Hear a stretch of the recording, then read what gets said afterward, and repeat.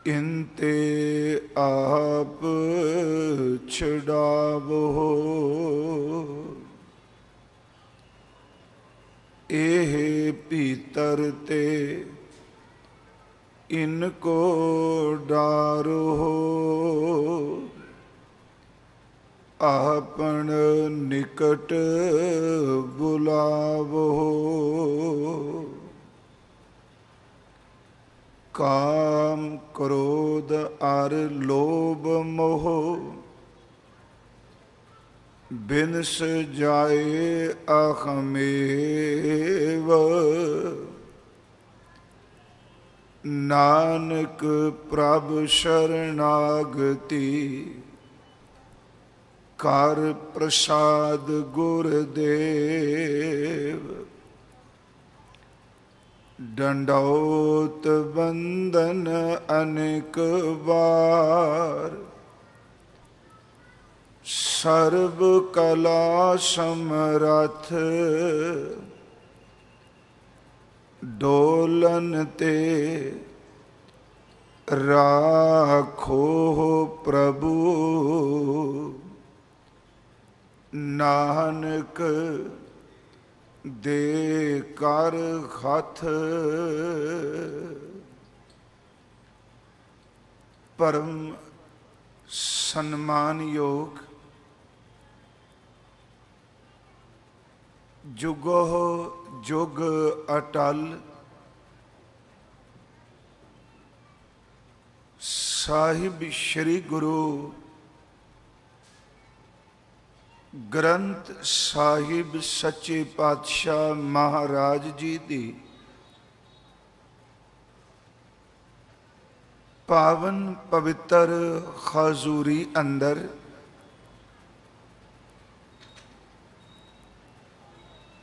ਭਾਈ ਮਤੀ ਦਾਸ ਜੀ ਸੇਵਕ ਜਥਾ।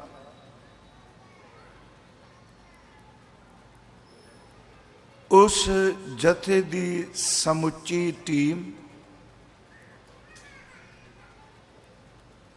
ਔਰ ਇਸ ਅਸਥਾਨ ਦੇ ਗੁਰਮੁਖ ਪਿਆਰੇ ਮਹਾਂਪੁਰਖਾਂ ਦੇ ਸਹਿਯੋਗ ਨਾਲ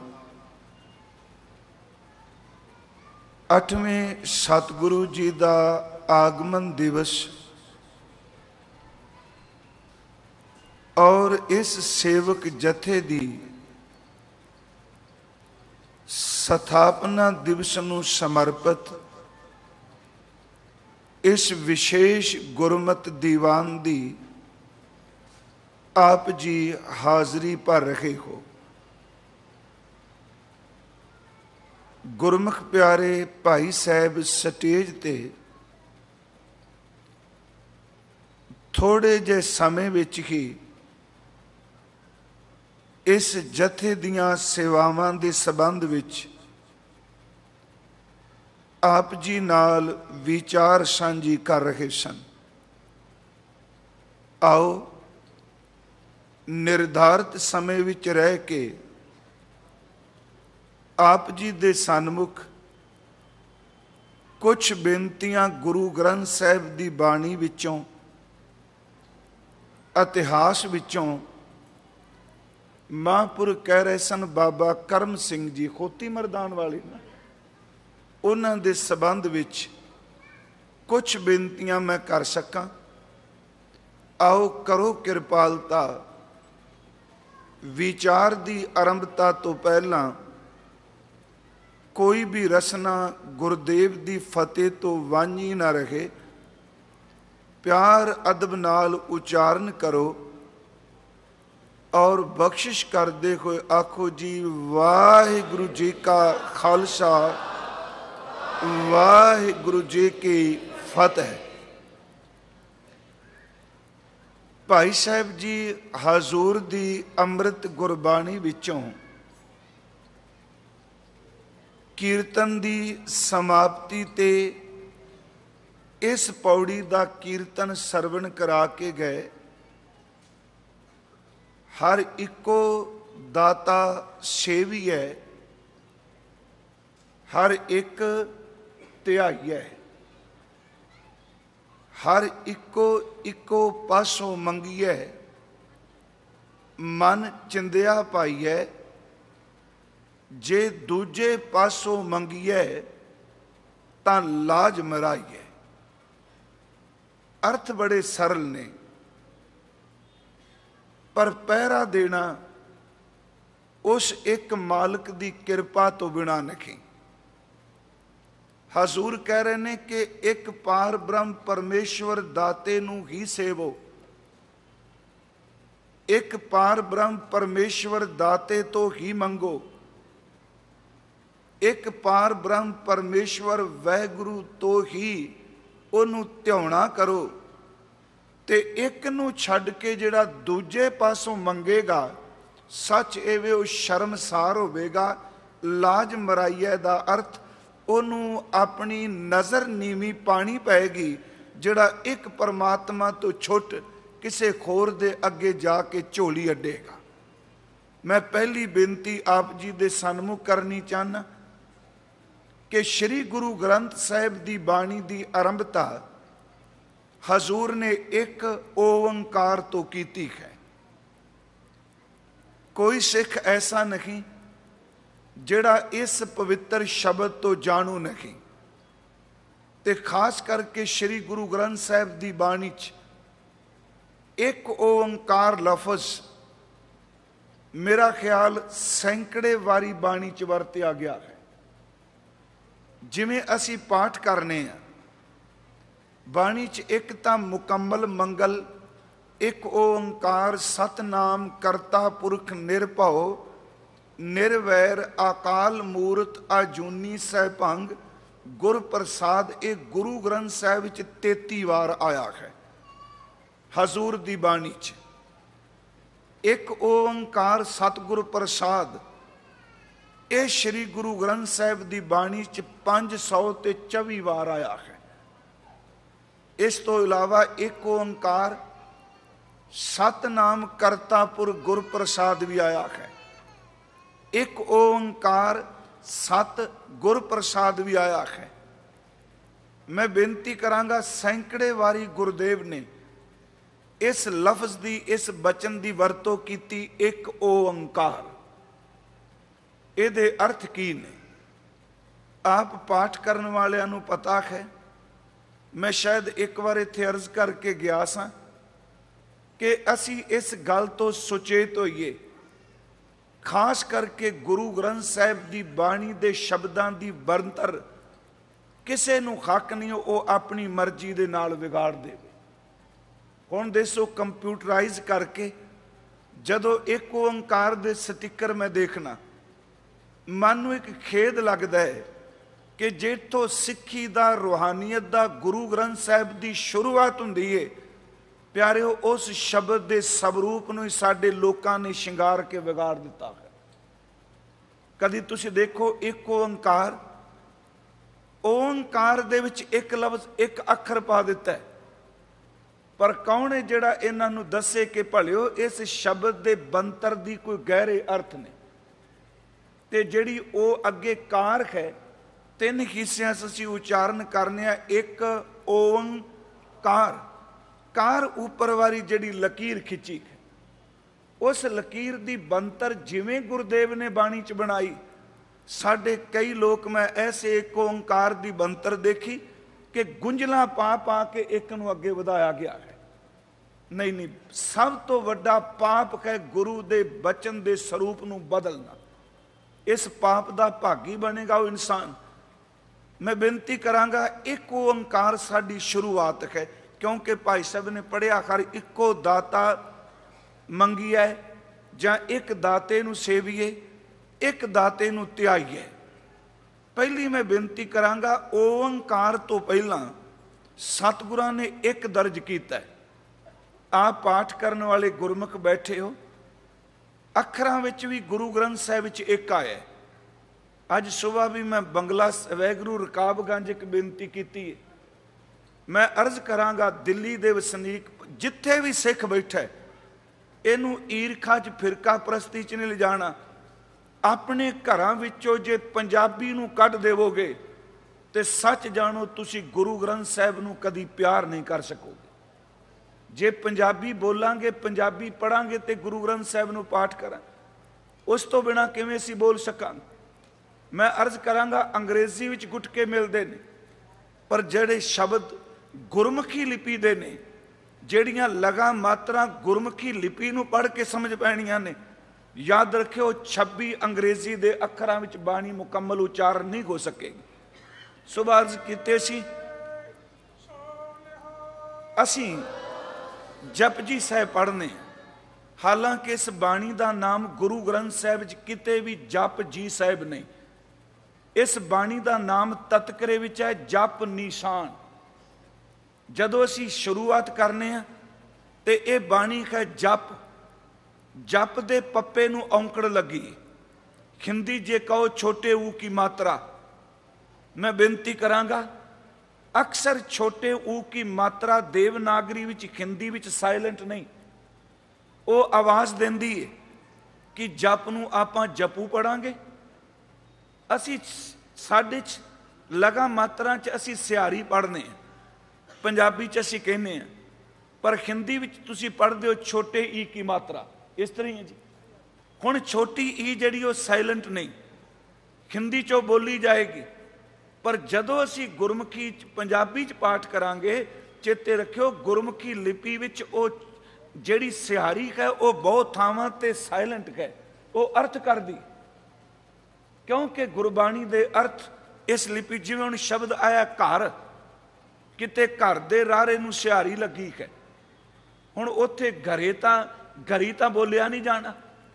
ਉੱਥੇ ਸਿਹਾਰੀ ਜਿਹੜੀ ਏ ਉਹ ਕਹਿ ਰਹੀ ਏ ਕਿ ਘਰ ਵਿੱਚ ਉੱਥੇ ਸਿਹਾਰੀ ਦੇ ਅਰਥ ਹੋਰ ਹੋਣਗੇ। ਗੁਰੂ ਗ੍ਰੰਥ ਸਾਹਿਬ ਵਿੱਚ ਕਿਤੇ ਗੁਰੂ ਦੇ ਰਾਰੇ ਨੂੰ ਔਂਕੜ ਲੱਗੀ ਤੇ ਕਿਤੇ ਗੁਰੂ ਦੇ ਰਾਰੇ ਨੂੰ ਸਿਹਾਰੀ ਲੱਗੀ। ਹੁਣ ਉੱਥੇ ਆਪਾਂ ਗੁਰੀ ਥੋੜਾ ਪੜ੍ਹਨੇ, ਲਫ਼ਜ਼ ਗੁਰੀ ਪੜ੍ਹਨੇ ਆ। ਉਹ ਸਿਆਰੀ ਕਹਿ ਰਹੀ ਹੈ ਪਾਠ ਕਰਨ ਵਾਲਿਆ, ਇਹਦਾ ਅਰਥ ਹੈ ਗੁਰੂ ਨੇ। ਖੈਰ, ਮੈਂ ਜ਼ਿਆਦਾ ਵਿਆਕਰਨ ਨਹੀਂ ਘੋਟਣ ਲੱਗਾ। ਮੇਰੀ ਇੱਕ ਤੁਹਾਨੂੰ ਬੇਨਤੀ ਹੈ ਜਿੱਥੇ ਇੰਨਾ ਪਰਉਪਕਾਰ ਕਰਦੇ ਪਇਓ ਸਭ ਤੋਂ ਵੱਡਾ ਪਰਉਪਕਾਰ ਜੇ ਆਪਣੇ ਬੱਚਿਆਂ ਨੂੰ ਪੰਜਾਬੀ ਜ਼ਰੂਰ ਸਿਖਾਓ। ਇਹ ਪੰਜਾਬੀ ਬੋਲਣਾ, ਆਪਾਂ ਘਰ 'ਚ ਪੰਜਾਬੀ ਬੋਲੀ ਸਵੇਰ ਮੈਂ ਗੱਲ ਕੀਤੀ, ਮੈਂ ਯੂਰਪ ਤਕਰੀਬਨ ਸਾਰਾ ਘੁੰਮਿਆ। ਬਜ਼ੁਰਗ ਸਾਡੇ ਬੈਠੇ ਨੇ, ਸਰਦਾਰ ਗੁਰਚਰਨ ਸਿੰਘ ਜੀ, ਗੱਤਕਾ ਮਾਸਟਰ। ਇਟਲੀ ਦੇ ਵਿੱਚ ਸਭ ਤੋਂ ਵੱਡਾ ਧਰਮ ਜਿਹੜਾ, ਉਹ ਅਸਾਈਅਤੀ ਹੈ ਕ੍ਰਿਸਚੀਅਨਟੀ ਹੈ। ਸਪੇਨ ਵਿੱਚ ਜਰਮਨ ਵਿੱਚ, ਫਰਾਂਸ ਵਿੱਚ, ਜਿੱਥੇ ਥਾਵਾਂ ਤੇ ਪੁਰਤਗਾਲ ਮੈਂ ਗਿਆ, ਤਕਰੀਬਨ ਹਰ ਪਾਸੇ ਅਸਾਈਅਤ ਹੈ ਪਰ ਚੇਤੇ ਰੱਖਿਓ, ਇਟਾਲੀਅਨ ਜਿਹੜਾ ਉਹ ਅੰਗਰੇਜ਼ੀ ਨੂੰ ਲਾਈਕ ਨਹੀਂ ਕਰਦਾ। ਉਹ ਆਪਣੀ ਇਟਾਲੀਅਨ ਹੀ ਬੋਲੇਗਾ। ਸਪੇਨ ਵਿੱਚ ਰਹਿਣ ਵਾਲਾ ਸਪੈਨਿਸ਼ ਹੀ ਬੋਲੇਗਾ, ਸਪੈਨਿਸ਼ ਹੀ ਬੋਲੇਗਾ। ਫਰਾਂਸ ਵਿੱਚ ਰਹਿਣ ਵਾਲਾ ਫ੍ਰੈਂਚ ਬੋਲੇਗਾ। ਜਰਮਨ ਵਿੱਚ ਰਹਿਣ ਵਾਲਾ ਡੁੱਚ ਬੋਲੇਗਾ। ਮੇਰੀ ਇੱਕ ਬੇਨਤੀ ਹੈ ਕਿ ਇੱਕ ਧਰਮ ਹੋਣ ਦੇ ਬਾਵਜੂਦ ਵੀ ਉਹ ਆਪਣੀ ਮਾਂ ਬੋਲੀ ਨੂੰ ਛੱਡਣ ਵਾਸਤੇ ਤਿਆਰ ਨਹੀਂ, ਅਸੀਂ ਤਾਂ ਇੱਕ ਖਿੰਨ ਲਾਣੇ ਆ ਸਮਝਨੇ ਆ ਪੰਜਾਬੀ ਸ਼ਾਇਦ ਗਵਾਰੂ ਲੋਕਾਂ ਦੀ ਬੋਲੀ ਹੈ। ਚਿੱਤੇ ਰੱਖਿਓ ਜੇ ਪੰਜਾਬੀ ਬੋਲਣ ਦੀ ਜਾਚ ਨਾ ਆਈ, ਗੁਰਮੁਖੀ ਪੜਨ ਦੀ ਜਾਚ ਨਾ ਆਈ, ਤੇ ਗੁਰੂ ਗ੍ਰੰਥ ਸਾਹਿਬ ਦਾ ਸ਼ੁੱਧ ਪਾਠ ਆਪਾਂ ਕਿਵੇਂ ਕਰ ਸਕਾਂਗੇ? ਇਹਨੂੰ ਭਾਸ਼ਾਵਾਂ ਦੀ ਵਿਦਕਾ ਈਰਖਾ ਚ ਨਹੀਂ ਲਿਜਾਣਾ। ਕਿਉਂਕਿ ਸਾਡੇ ਲੋਕਾਂ ਨੇ ਤਾਂ ਭਾਸ਼ਾਵਾਂ ਤੇ ਬੋਲੀਆਂ ਨੂੰ ਵੀ ਈਰਖਾ ਦੇ ਵਿੱਚ ਕਹਿ ਦਿੱਤਾ। ਨਹੀਂ, ਗੁਰੂ ਅੰਗਦ ਦੇਵ ਮਹਾਰਾਜ, ਪਿਆਰਿਓ, ਆਪ ਛੋਟੇ ਛੋਟੇ ਬੱਚਿਆਂ ਨੂੰ ਫੱਟੀ ਦੇ ਉੱਪਰ ਗੁਰਮੁਖੀ ਲਿਖਾਉਂਦੇ। ਖੈਰ, ਮੇਰਾ ਪ੍ਰਕਰਨ ਇਹ ਨਹੀਂ, ਮੈਂ ਬੇਨਤੀ ਕਰਾਂਗਾ, ਇੱਕ ਲਫ਼ਜ਼ ਗੁਰੂ ਗ੍ਰੰਥ ਸਾਹਿਬ ਦੀ ਬਾਣੀ ਚ ਅੱਖਰਾਂ ਵਿੱਚ ਵੀ ਆਇਆ ਤੇ ਖਾਸ ਕਰਕੇ ਤਿੰਨ ਰੂਪ ਵਿੱਚ ਆਉਂਦਾ ਈੜੀ ਨੂੰ ਸਿਹਾਰੀ ਤੇ ਕੱਕਾ, ਇੱਕ। ਈੜੀ ਨੂੰ ਸਿਹਾਰੀ, ਕੱਕੇ ਨੂੰ ਔਂਕੜ, ਛੋਟੇ ਊ ਦੀ ਮਾਤਰਾ। ਇਹ ਦੂਸਰਾ ਲਫ਼ਜ਼ ਆਉਂਦਾ ਹੈ। ਤੀਸਰਾ ਆਉਂਦਾ ਹੈ ਈੜੀ ਨੂੰ ਸਿਹਾਰੀ ਤੇ ਕੱਕੇ ਨੂੰ ਸਿਹਾਰੀ। ਉਚਾਰਨ ਤਾਂ ਆਪਾਂ ਇੱਕੋ ਹੀ ਕਰਨੇ ਆ ਨਾ। ਈੜੀ ਨੂੰ ਸਿਹਾਰੀ, ਕੱਕਾ ਇੱਕ, ਈੜੀ ਨੂੰ ਸਿਹਾਰੀ, ਕੱਕੇ ਨੂੰ ਔਂਕੜ ਇੱਕ। ਈੜੀ ਨੂੰ ਸਿਹਾਰੀ, ਕੱਕੇ ਨੂੰ ਸਿਹਾਰੀ, ਅਸੀਂ ਇੱਕ ਪੜ੍ਹਨੇ ਆ। ਪਰ ਕੀ ਗੁਰੂ ਨਾਨਕ ਸਾਹਿਬ ਨੇ ਇਹ ਕੀ ਕੀਤਾ? ਉਹਨਾਂ ਨੇ ਓੰਕਾਰ ਤੋਂ ਪਹਿਲਾਂ ਹਜ਼ੂਰ ਨੇ ਇੱਕ ਈੜੀ ਨੂੰ ਸਿਹਾਰੀ ਕੱਕਾ ਨਹੀਂ ਪਾਇਆ। ਅੱਖਰਾਂ 'ਚ ਨਹੀਂ ਲਿਖਿਆ। ਹਾਲਾਂਕਿ ਓੰਕਾਰ ਲਫ਼ਜ਼ ਜਿਹੜਾ ਇਹ ਅੱਖਰਾਂ 'ਚ ਆਉਂਦਾ ਖਾਸ ਕਰਕੇ ਰਾਮਕਲੀ, ਦੱਖਣੀ, ਓੰਕਾਰ, ਜਿਹਨੂੰ ਅਸੀਂ ਦੱਖਣੀ ਓੰਕਾਰ ਕਹਿੰਦੇ ਆ ਅਸਲ 'ਚ ਦੱਖਣੀ ਦਾ ਸਬੰਧ ਓੰਕਾਰ ਨਾਲ ਨਹੀਂ। ਦੱਖਣੀ ਦਾ ਸਬੰਧ ਰਾਮਕਲੀ ਨਾਲ ਹੈ, ਕਿਉਂਕਿ ਰਾਮਕਲੀ, ਦੱਖਣੀ ਦੋ ਸੰਯੁਕਤ ਰਾਗ ਨੇ। ਜਿਵੇਂ ਗੌੜੀ ਪੂਰਬੀ ਹੈ, ਗੌੜੀ ਮਾਲਵਾ ਹੈ, ਇਸੇ ਤਰ੍ਹਾਂ ਰਾਮਕਲੀ ਤੇ ਦੱਖਣੀ ਦੋ ਰਾਗਾਂ ਦਾ ਸਮੇਲ ਕੀਰਤਨ ਕਰਨ ਵਾਲਿਆਂ ਨੂੰ ਪਤਾ ਹੈ। ਓੰਕਾਰ ਬਾਣੀ ਦਾ ਨਾਮ ਹੈ। ਬਾਬਾ ਜੀ ਨੇ ਇਹ ਬਾਣੀ ਨਰਮਦਾ ਦੇ ਕਿਨਾਰੇ ਓੰਕਾਰੇਸ਼ਵਰ ਦੀ ਧਰਤੀ ਤੇ ਉਚਾਰਨ ਕੀਤੀ। ਦਾਸ ਉਸ ਸਥਾਨ ਤੇ ਗਿਆ ਹਿੰਦੁਸਤਾਨ ਵਿੱਚ 12 ਸ਼ਿਵਲਿੰਗਮ ਨੇ। ਉਹਨਾਂ ਵਿੱਚੋਂ ਇੱਕ ਓੰਕਾਰੇਸ਼ਵਰ ਹੈ, ਨਰਮਦਾ ਦੇ ਕੰਢੇ। ਉੱਥੇ ਹਜ਼ੂਰ ਨੇ ਇਹ ਬਾਣੀ ਨੂੰ ਉਚਾਰਨ ਕੀਤਾ। ਹਾਲਾਂਕਿ ਕੋਈ ਸਥਾਨ ਨਹੀਂ ਸੀ, ਪਰ ਸਨਮਾਨਯੋਗ ਗਿਆਨੀ ਸੰਤ ਸਿੰਘ ਮਸਕੀਨ ਜੀ ਕੋਣੀ ਉਹਨਾਂ ਨੇ ਥਾਂ ਖਰੀਦ ਕੇ ਗੁਰੂ ਨਾਨਕ ਸਾਹਿਬ ਦੀ ਯਾਦ ਵਿੱਚ ਉੱਥੇ ਗੁਰਦੁਆਰਾ ਬਣਾਇਆ, ਇੰਦੌਰ ਤੋਂ ਜਾ ਕੇ। ਉੱਥੇ ਓੰਕਾਰਵੇਸ਼ਵਰ ਕਿਹਾ ਜਾਂਦਾ ਇੱਥੇ ਦਾਤਾਰ ਨੇ ਓੰਕਾਰ ਦੀ ਬਾਣੀ ਉਚਾਰਨ ਕੀਤੀ।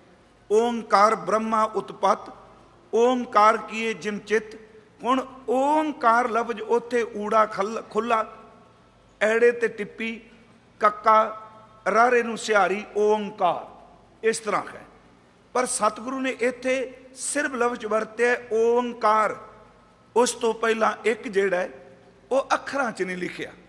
ਜਿਹੜਾ ਓਮ ਲਫ਼ਜ਼ ਹੈ, ਮੈਨੂੰ ਬਖਸ਼ ਦਿਓ, ਇਹ ਪੁਰਾਤਨ ਹੈ। ਇਹ ਬ੍ਰਹਮਵਾਚਕ ਹੈ ਓਮ ਲਫ਼ਜ਼।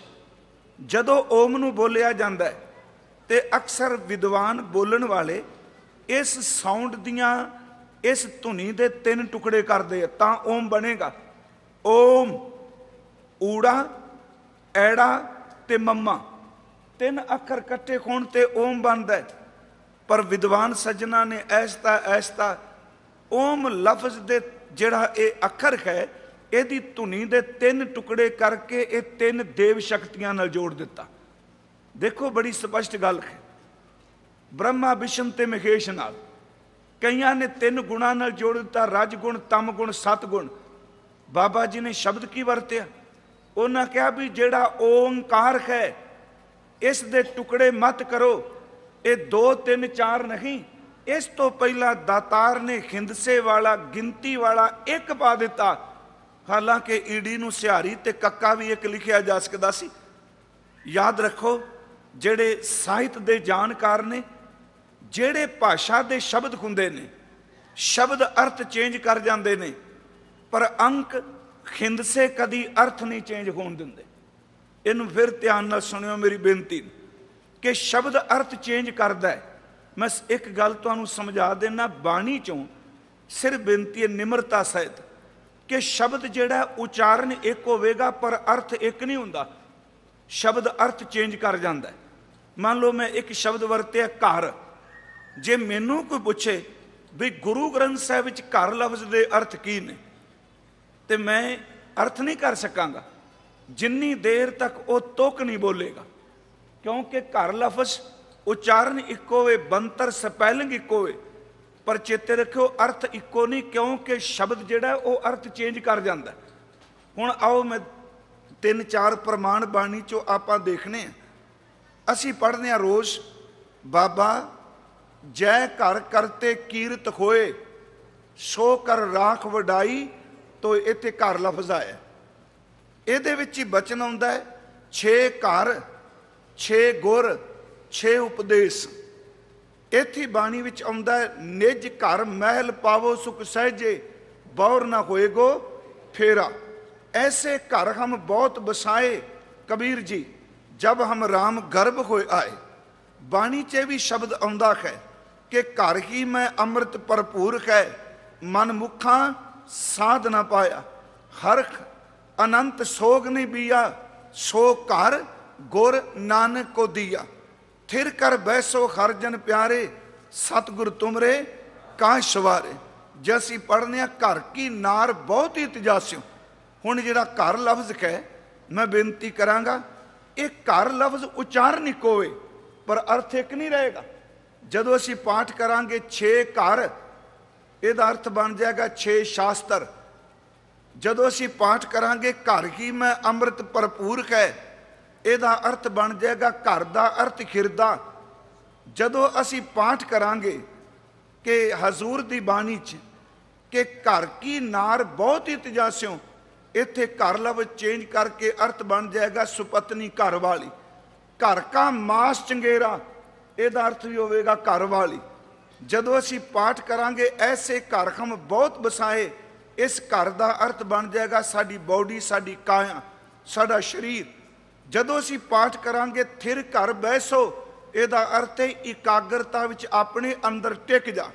ਜਦੋਂ ਅਸੀਂ ਪਾਠ ਕਰਾਂਗੇ, ਨਿਜ ਘਰ ਮਹਿਲ ਪਾਓ ਸੁਖ ਸਹਿਜੇ ਤੇ ਯਾਦ ਰੱਖਿਓ, ਉੱਥੇ ਸਾਡੇ ਅਰਥ, ਨਿਜ ਘਰ ਦਾ ਅਰਥ ਬਣ ਜਾਏਗਾ। ਉਹ ਪਰਮ ਅਵਸਥਾ ਜਿੱਥੇ ਦੁਬਾਰਾ ਜਨਮ ਮਰਨ ਵਿੱਚ ਨਹੀਂ ਪੈਣਾ ਪੈਂਦਾ, ਹੁਣ ਘਰ ਲਫ਼ਜ਼ ਜਿਹੜਾ ਉਹ ਕਿੰਨੇ ਅਰਥ ਚੇਂਜ ਕਰ ਗਿਆ। ਹੋਰ ਜ਼ਿਆਦਾ ਦੂਰ ਨਾ ਜਾਈਏ।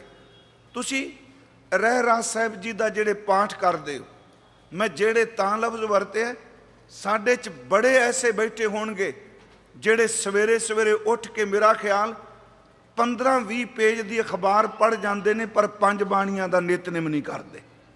ਬੜੇ ਐਸੇ ਟੱਕਰਨਗੇ, ਦੂਜਿਆਂ ਦੀ ਗੱਲ ਛੱਡੋ, ਅਸੀਂ ਸਟੇਜ ਤੇ ਬੋਲਣ ਵਾਲੇ ਨਹੀਂ, ਕਈ ਸਾਡੇ ਨਿਤਨੇਮ ਕਰਦੇ।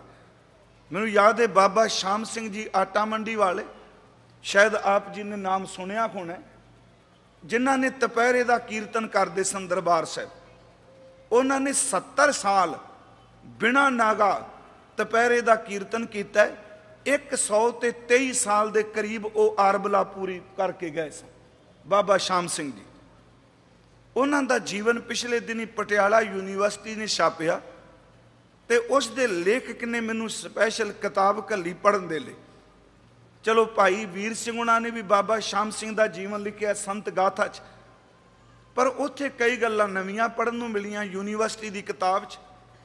ਉਹ ਕਹਿੰਦੇ ਨੇ ਜਦੋਂ ਬਾਬਾ ਜੀ ਬਿਰਧ ਹੋ ਗਏ ਤੇ ਦਰਬਾਰ ਸਾਹਿਬ ਨਹੀਂ ਜਾਣਾ ਉਹਨਾਂ ਛੱਡਿਆ।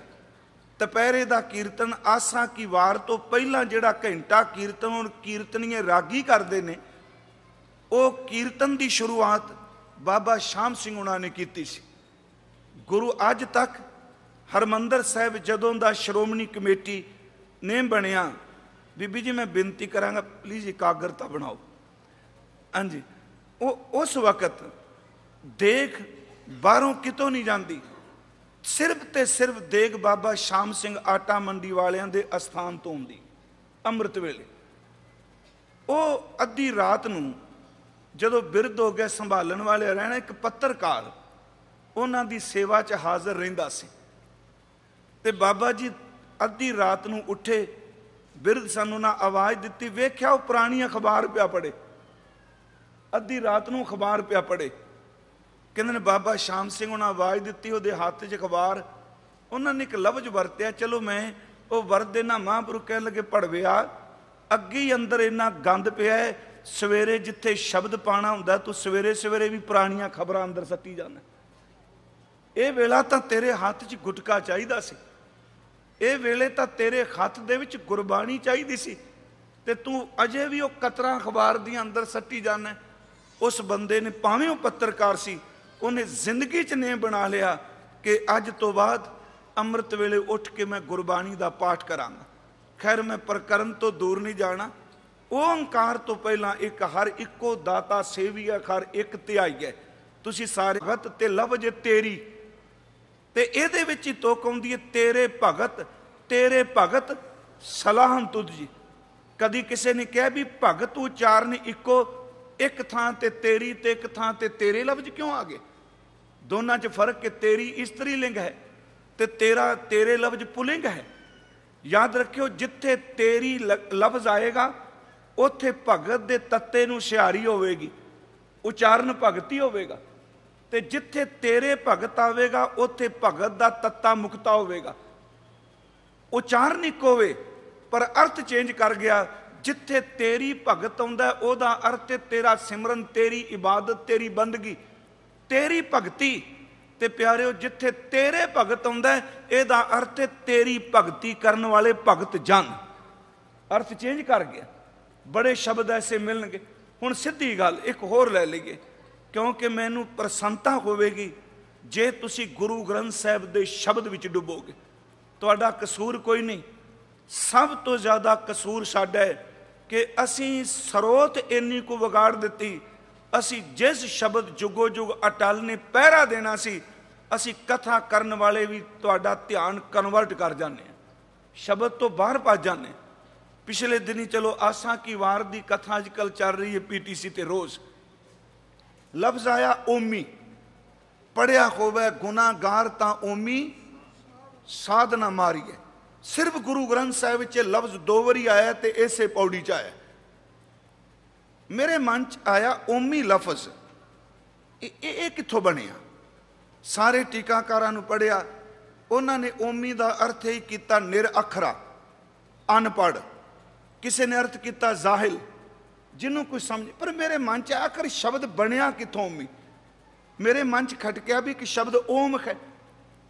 ਇਹ ਓਮੀ ਲਫ਼ਜ਼ ਅਨਪੜ ਨਿਰ ਅਖਰਾ ਜ਼ਾਹਿਲ, ਉਸ ਤੋਂ ਬਾਅਦ ਅਰਬੀ ਦੀ ਇੱਕ ਲੁਗਾਤ ਭਾਈ ਵੀਰ ਸਿੰਘ ਉਹਨਾਂ ਨੇ ਉਹਦਾ ਜ਼ਿਕਰ ਕੀਤਾ। ਉਹ ਕਹਿੰਦੇ ਨੇ, ਅਸਲ 'ਚ ਜਿਹੜਾ ਓਮੀ ਲਫ਼ਜ਼ ਹੈ, ਫਾਰਸੀ ਦਾ ਇੱਕ ਲਫ਼ਜ਼ ਹੈ ਉਮ ਉਮ ਦਾ ਅਰਥ ਹੈ ਅੰਮਾ, ਮਾਂ। ਫਾਰਸੀ ਦਾ ਲਫ਼ਜ਼ ਹੈ ਉਮ ਉਮ ਤੋਂ ਬਣਿਆ ਓਮੀ। ਮੇਰੀ ਹੋਰ ਰੁਚੀ ਵੱਧ ਗਈ ਵੀ ਅਨਪੜ੍ਹ ਤੇ ਮਾਂ, ਇਹ ਇਹ ਅਰਥ ਕਿਵੇਂ ਟੁਕਣਗੇ ਫਿਰ ਦੇਖੋ ਕੈਸੇ ਕਮਾਲ ਦਾ ਖਜ਼ਾਨਾ ਪਿਆ ਗੁਰੂ ਗ੍ਰੰਥ ਸਾਹਿਬ 'ਚ। ਦੁਨੀਆ ਭਰ ਦੀਆਂ ਭਾਸ਼ਾਵਾਂ ਨੇ ਗੁਰੂ ਗ੍ਰੰਥ ਸਾਹਿਬ 'ਚ। ਦੁਨੀਆ ਭਰ ਦਾ ਸੰਗੀਤ ਹੈ ਗੁਰੂ ਗ੍ਰੰਥ ਸਾਹਿਬ 'ਚ। ਖਿਮਾ ਕਰਿਓ, ਦੁਨੀਆ ਭਰ ਦੇ ਰੱਬ ਦੇ ਨਾਮ ਜਿਹੜੇ ਨੇ ਗੁਰੂ ਗ੍ਰੰਥ ਸਾਹਿਬ ਵਿੱਚ ਪਏ ਹੋਏ ਨੇ। ਉਮ ਲਫ਼ਜ਼ ਅਰਬੀ ਦਾ ਇਹਦਾ ਅਰਥ ਹੈ ਮਾਂ। ਉਮੀ ਲਫ਼ਜ਼ ਅਨਪੜ ਕਿਵੇਂ ਬਣ ਗਿਆ ਉਸ ਲਫ਼ਜ਼ 'ਚੋਂ? ਪਰ ਉਹਦੇ ਅਰਥ ਇੱਕ ਗੁਰਮੁਖ ਵਿਦਵਾਨ ਦੇ ਕੋਸ਼ ਵਿੱਚੋਂ ਲੱਭੇ। ਉਹ ਕਹਿੰਦੇ ਨੇ, ਉਮ ਦਾ ਅਰਥ ਹੈ ਮਾਂ। ਤੇ ਓਮੀ ਦਾ ਅਰਥ ਹੈ, ਉਹ ਬੱਚਾ ਜਿਹਦਾ ਮਾਂ ਦੀ ਕੁੱਖ ਵਿੱਚੋਂ ਪੇਟ 'ਚੋਂ ਜਨਮ ਹੋਵੇ ਤੇ ਬਾਪ ਦੀ ਮੌਤ ਹੋ ਜਾਏ। ਓਮੀ ਕੀ ਹੈ ਬਾਪ ਦੀ ਮੌਤ ਹੋ ਗਈ ਤੇ ਉਸ ਬੱਚੇ ਨੂੰ ਮਾਂ ਨੇ ਗਰੀਬੀ ਦਾਵੇ ਪਾਲਿਆ, ਸਾਰੀ ਜ਼ਿੰਦਗੀ ਉਹਨੂੰ ਪਾਲਿਆ, ਪਰ ਪੜਾ ਨਹੀਂ ਸਕੀ। ਉਮ ਦਾ ਅਰਥ ਹੈ, ਜਿਹੋ ਜਿਹਾ ਮਾਂ ਦੇ ਪੇਟ ਵਿੱਚੋਂ ਨਿਰ ਅਖਰਾ ਜੰਮਿਆ, ਉਹੋ ਜਿਹਾ ਦੀ ਮੌਤ ਹੋ ਗਈ। ਸਿੱਖਿਆ ਕੁਝ ਨਹੀਂ, ਇਹਦੇ ਤੋਂ ਲਫ਼ਜ਼ ਬਣਿਆ ਓਮੀ। ਹੁਣ ਵੇਖੋ, ਮੈਂ ਵਰਤ ਰਿਹਾ ਸ਼ਬਦ। ਕਈ ਸੱਜਣ ਸਾਡੇ ਕਹਿੰਦੇ ਹੁਣ ਜਦੋਂ ਵੀ ਸ਼ਬਦ ਗੁਰੂ ਦੀ ਗੱਲ ਕਰੋ। ਇਹ ਸਾਰੀ ਜਿਸ ਬੰਦੇ ਨੇ ਜਪਜੀ ਸਾਹਿਬ ਨਹੀਂ ਕੀਤਾ, ਉਹ ਵੀ ਕਹਿੰਦਾ ਸ਼ਬਦ ਗੁਰੂ। ਅਗਲੇ ਨੂੰ ਪੁੱਛ ਕੇ ਦੇਖੋ, ਸ਼ਬਦ ਗੁਰੂ ਹੈ ਕੀ? ਗੁਰੂ ਗ੍ਰੰਥ ਸਾਹਿਬ ਵਿੱਚ 6000 ਦੇ ਕਰੀਬ ਸ਼ਬਦ ਨੇ। ਕਿਸ ਲਫ਼ਜ਼ ਨੂੰ ਤੁਸੀਂ ਕਹੋਗੇ ਗੁਰੂ? ਇਸ ਨੂੰ ਬਰੀਕੀ ਨਾਲ ਦੇਖੀਏ। ਮੈਂ ਇੱਕ ਦਿਨ ਅਰਜ਼ ਕੀਤੀ ਸੀ, ਮੰਜੀ ਸਾਹਿਬ ਕਿ ਸ਼ਬਦ ਉਦੋਂ ਵੀ ਗੁਰੂ ਸੀ ਜਦੋਂ ਸ਼ਬਦ ਦਾ ਜਨਮ ਵੀ ਨਹੀਂ ਸੀ ਹੋਇਆ। ਜਦੋਂ ਅੱਖਰ ਜਨਮੇ ਨਹੀਂ ਸਨ, ਕੀ ਪਰਮਾਤਮਾ ਦੀ ਹਸਤੀ ਉਦੋਂ ਨਹੀਂ ਸੀ? ਜਿਹਨੂੰ ਸੁਣ ਸਮਾਧੀ ਕਹਿੰਦੇ ਆ, ਜਦੋਂ ਸ਼ਬਦ ਲਫ਼ਜ਼ ਵੀ ਪੈਦਾ ਨਹੀਂ ਸੀ ਹੋਇਆ, ਸ਼ਬਦ ਉਦੋਂ ਵੀ ਸੀ। ਗੁਰੂ ਗ੍ਰੰਥ ਸਾਹਿਬ ਕਹਿੰਦਾ, ਹਰ ਚੀਜ਼ ਦੀ ਪੈਦਾਇਸ਼ ਸ਼ਬਦ ਵਿੱਚੋਂ ਹੋਈ ਏ, ਤੇ ਫਿਰ ਉਦੋਂ ਤਾਂ ਅੱਖਰ ਵੀ ਨਹੀਂ ਸਨ ਬਣੇ, ਜਦੋਂ ਕੁਝ ਬਣੇ ਹੀ ਨਹੀਂ ਸੀ। ਸ਼ਬਦ ਅਸਲ 'ਚ ਆਪ ਪਰਮਾਤਮਾ ਹੈ। ਸ਼ਬਦ ਅਸਲ ਵਿੱਚ ਆਪ ਬ੍ਰਹਮ ਹੈ। ਪਰ ਉਂਝੇ ਗੁਰੂ ਗ੍ਰੰਥ ਸਾਹਿਬ 'ਚ ਮੈਨੂੰ ਪੁੱਛੋ ਵੀ ਸ਼ਬਦ ਦੇ ਅਰਥ ਕੀ ਨੇ? ਮੈਂ ਨਹੀਂ ਕਰ ਸਕਾਂਗਾ, ਜਿੰਨੀ ਦੇਰ ਤੱਕ ਤੁਕ ਨਹੀਂ ਬੋਲੋਗੇ। ਇੱਕ ਬਾਣੀ ਵਿੱਚ ਸ਼ਬਦ ਦਾ ਅਰਥ ਹੈ ਬੋਲ। ਦੂਜਾ ਬਾਣੀ ਵਿੱਚ ਸ਼ਬਦ ਦਾ ਅਰਥ ਹੈ ਗੁਰਬਾਣੀ। ਤੀਜਾ ਗੁਰੂ ਗ੍ਰੰਥ ਸਾਹਿਬ ਵਿੱਚ ਸ਼ਬਦ ਦਾ ਅਰਥ ਹੈ ਜੀਵਨ। ਚੌਥਾ ਗੁਰੂ ਗ੍ਰੰਥ ਸਾਹਿਬ ਦੀ ਬਾਣੀ ਦੇ ਵਿੱਚ ਸ਼ਬਦ ਦਾ ਅਰਥ ਹੈ ਧੁਨੀ। ਬੇਅੰਤ ਸ਼ਬਦ ਮਿਲਦੇ ਨੇ। ਚਲੋ ਜਿਹੜੇ ਤੁਸੀਂ ਰੋਜ਼ ਪਾਠ ਕਰਦੇ ਹੋ, ਮੈਂ ਉਹੀ ਬੋਲ ਦੇਣਾ ਇੱਕ ਬਚਨ ਅਸੀਂ ਪੜ੍ਹਨੇ ਆ ਕਿ ਸਿੱਖੋ ਸ਼ਬਦ ਪਿਆਰਿਓ, ਜਨਮ ਮਰਨ ਕੀ ਟੇਕ ਉਤੇ ਸ਼ਬਦ ਦਾ ਅਰਥ ਹੈ ਗੁਰਬਾਣੀ। ਤੁਸੀਂ ਇੱਕ ਬਚਨ ਰੋਜ਼ ਪੜ੍ਹਦੇ ਹੋ, ਜਤ ਪਹਾਰਾ ਧੀਰ, ਸੁਨਿਆਰ, ਐਰਨ ਮਤ, ਵੇਦ ਹਥਿਆਰ, ਭਉ ਖਲਾ ਅਗਨ ਤਪਤਾਓ ਭਾਂਡਾ ਭਾਓ, ਅੰਮ੍ਰਿਤ ਢਾਲ ਘੜੀਐ ਸ਼ਬਦ। ਉਤੇ ਸ਼ਬਦ ਦਾ ਅਰਥ ਜ਼ਿੰਦਗੀ, ਕਰੈਕਟਰ, ਜੀਵਨ। ਦੇਖੋ, ਅਰਥ ਚੇਂਜ ਹੋ ਗਿਆ। ਇੱਕ ਸ਼ਬਦ ਦਾ ਅਰਥ ਬਾਣੀ, ਦੂਜੇ ਸ਼ਬਦ ਦਾ ਅਰਥ ਜੀਵਨ ਤੀਸਰਾ ਤੁਸੀਂ ਗੁਰੂ ਗ੍ਰੰਥ ਸਾਹਿਬ ਦਾ ਜਦੋਂ ਪਾਠ ਕਰਦੇ ਹੋ, ਤੇ ਆਨੰਦ ਸਾਹਿਬ ਚ ਇੱਕ ਬਚਨ ਆਉਂਦਾ ਹੈ, ਕਰ ਕਿਰਪਾ ਕਿਲ ਵੀ ਕੱਟੇ ਗਿਆਨ ਅੰਜਨ ਸਾਰਿਆ, ਅੰਦਰੋਂ ਜਿਨ ਕਾ ਮੋਹ ਟੁੱਟਾ ਤਿਨ ਕਾ ਸ਼ਬਦ। ਇਹ ਤੇ ਸ਼ਬਦ ਦਾ ਅਰਥ ਹੈ ਬੋਲ। ਉਤਪਤ ਪਰਲੋ ਸ਼ਬਦੇ ਹੋਵੇ, ਸ਼ਬਦੇ ਹੀ ਪਰ ਓਪਤ ਹੋਵੇ, ਇਹਦਾ ਅਰਥ ਹੈ ਪਰਮਾਤਮਾ। ਸਭ ਇੱਕੋ ਸ਼ਬਦ ਵਰਤਦਾ, ਜੋ ਕਰੇ ਸੋਈ ਤੇ ਸ਼ਬਦ ਅਰਥ ਹੁਕਮ। ਮੈਂ ਬੇਨਤੀ ਕਰਾਂਗਾ, ਗੁਰੂ ਗ੍ਰੰਥ ਸਾਹਿਬ ਤੋਂ ਕੁਰਬਾਨ ਜਾਓ। ਓੰਕਾਰ ਤੋਂ ਪਹਿਲਾਂ ਦਾਤਾਰ ਨੇ ਇੱਕ ਈੜੀ ਨੂੰ ਸਿਹਾਰੀ ਕੱਕਾ ਨਹੀਂ ਪਾਇਆ, ਮੈਂ ਵਿਸ਼ੇ ਤੋਂ ਦੂਰ ਨਹੀਂ ਜਾਵਾਂਗਾ। ਮੈਰਿਜ ਕੀਤੀ, ਸ਼ਬਦ ਅਰਥ ਚੇਂਜ ਕਰ ਦਿੰਦਾ ਹੈ, ਪਰ ਅੰਕ ਕਦੀ ਅਰਥ ਨਹੀਂ ਚੇਂਜ ਕਰਦਾ। ਯਾਦ ਰੱਖਿਓ ਕਿ ਇੱਕ ਦਾ ਅਰਥ ਇੱਕ ਹੀ ਹੋ ਸਕੇਗਾ, ਇੱਕ ਦਾ ਅਰਥ ਦੂਜੀ ਥਾਂ ਤੇ ਚੇਂਜ ਨਹੀਂ ਹੋ ਸਕੇਗਾ। ਜਿਹੜੇ ਮੈਥ ਪੜ੍ਹਦੇ ਨੇ, ਉਹਨਾਂ ਨੂੰ ਪਤਾ ਹੈ ਕਿ ਅੰਕ ਕਦੀ ਅਰਥ ਨਹੀਂ ਚੇਂਜ ਕਰਦਾ ਹੁੰਦਾ। ਦੋ ਦਾ ਅਰਥ ਦੋ ਹੀ ਰਹੇਗਾ, ਦੋ ਦਾ ਅਰਥ ਚੇਂਜ ਤਾਂ ਨਹੀਂ ਹੋ ਜਾਏਗਾ।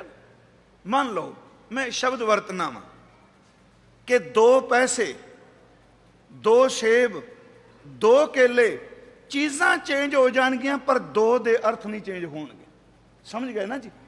ਅੰਕ ਕਦੀ ਚੇਂਜ ਨਹੀਂ ਹੁੰਦਾ। ਮੇਰੇ ਸਤਿਗੁਰੂ ਨੇ ਸਭ ਤੋਂ ਪਹਿਲਾਂ ਓੰਕਾਰ ਤੋਂ ਪਹਿਲਾਂ ਇੱਕ ਲਿਖ ਕੇ ਕਹਿ ਦਿੱਤਾ, ਦੁਨੀਆ ਦੇ ਲੋਗੋ ਓੰਕਾਰ ਦੇ ਅਰਥ 2 3 4 ਮਤ ਕਰੋ। ਇੱਕ ਪਾ ਦਿੱਤਾ ਕਿ ਸਿਰਫ ਇੱਕ ਚੇਤੇ ਰੱਖੋ, ਉਹ ਅਦੁੱਤੀ, ਜਿਸ ਇੱਕ ਵਰਗਾ ਹੋਰ ਕੋਈ ਨਹੀਂ। ਓੰਕਾਰ ਦਾ ਅਰਥ ਕਿ ਸਿੱਖ ਉਹਦਾ ਪੁਜਾਰੀ ਹੈ, ਜਿਸ ਇੱਕ ਵਰਗਾ ਕੋਈ ਇੱਕ ਹੋਰ ਹੈ ਹੀ ਨਹੀਂ। ਇਹ ਕਿੱਡੀ ਵਿਲੱਖਣਤਾ ਹੈ। ਸਭ ਤੋਂ ਪਹਿਲਾਂ ਇੱਕ ਓੰਕਾਰ, ਪਰ ਇਸ ਇੱਕ ਓੰਕਾਰ ਨੂੰ ਵਿਤਕਰੇ ਚ ਨਹੀਂ ਲਿਜਾਣਾ। ਇੱਕ ਓੰਕਾਰ ਹੀ ਸਾਰਿਆਂ ਵਿੱਚ ਵਰਤਦਾ ਹੈ। ਇੱਕ ਓੰਕਾਰ ਹੀ ਸਾਰਿਆਂ ਵਿੱਚ ਬੋਲਿੰਦਾ ਹੈ। ਇੱਕ ਓੰਕਾਰ ਦਾ ਹੀ ਚਾਰ ਚਵੇਰੇ ਪਸਾਰਾ ਹੈ।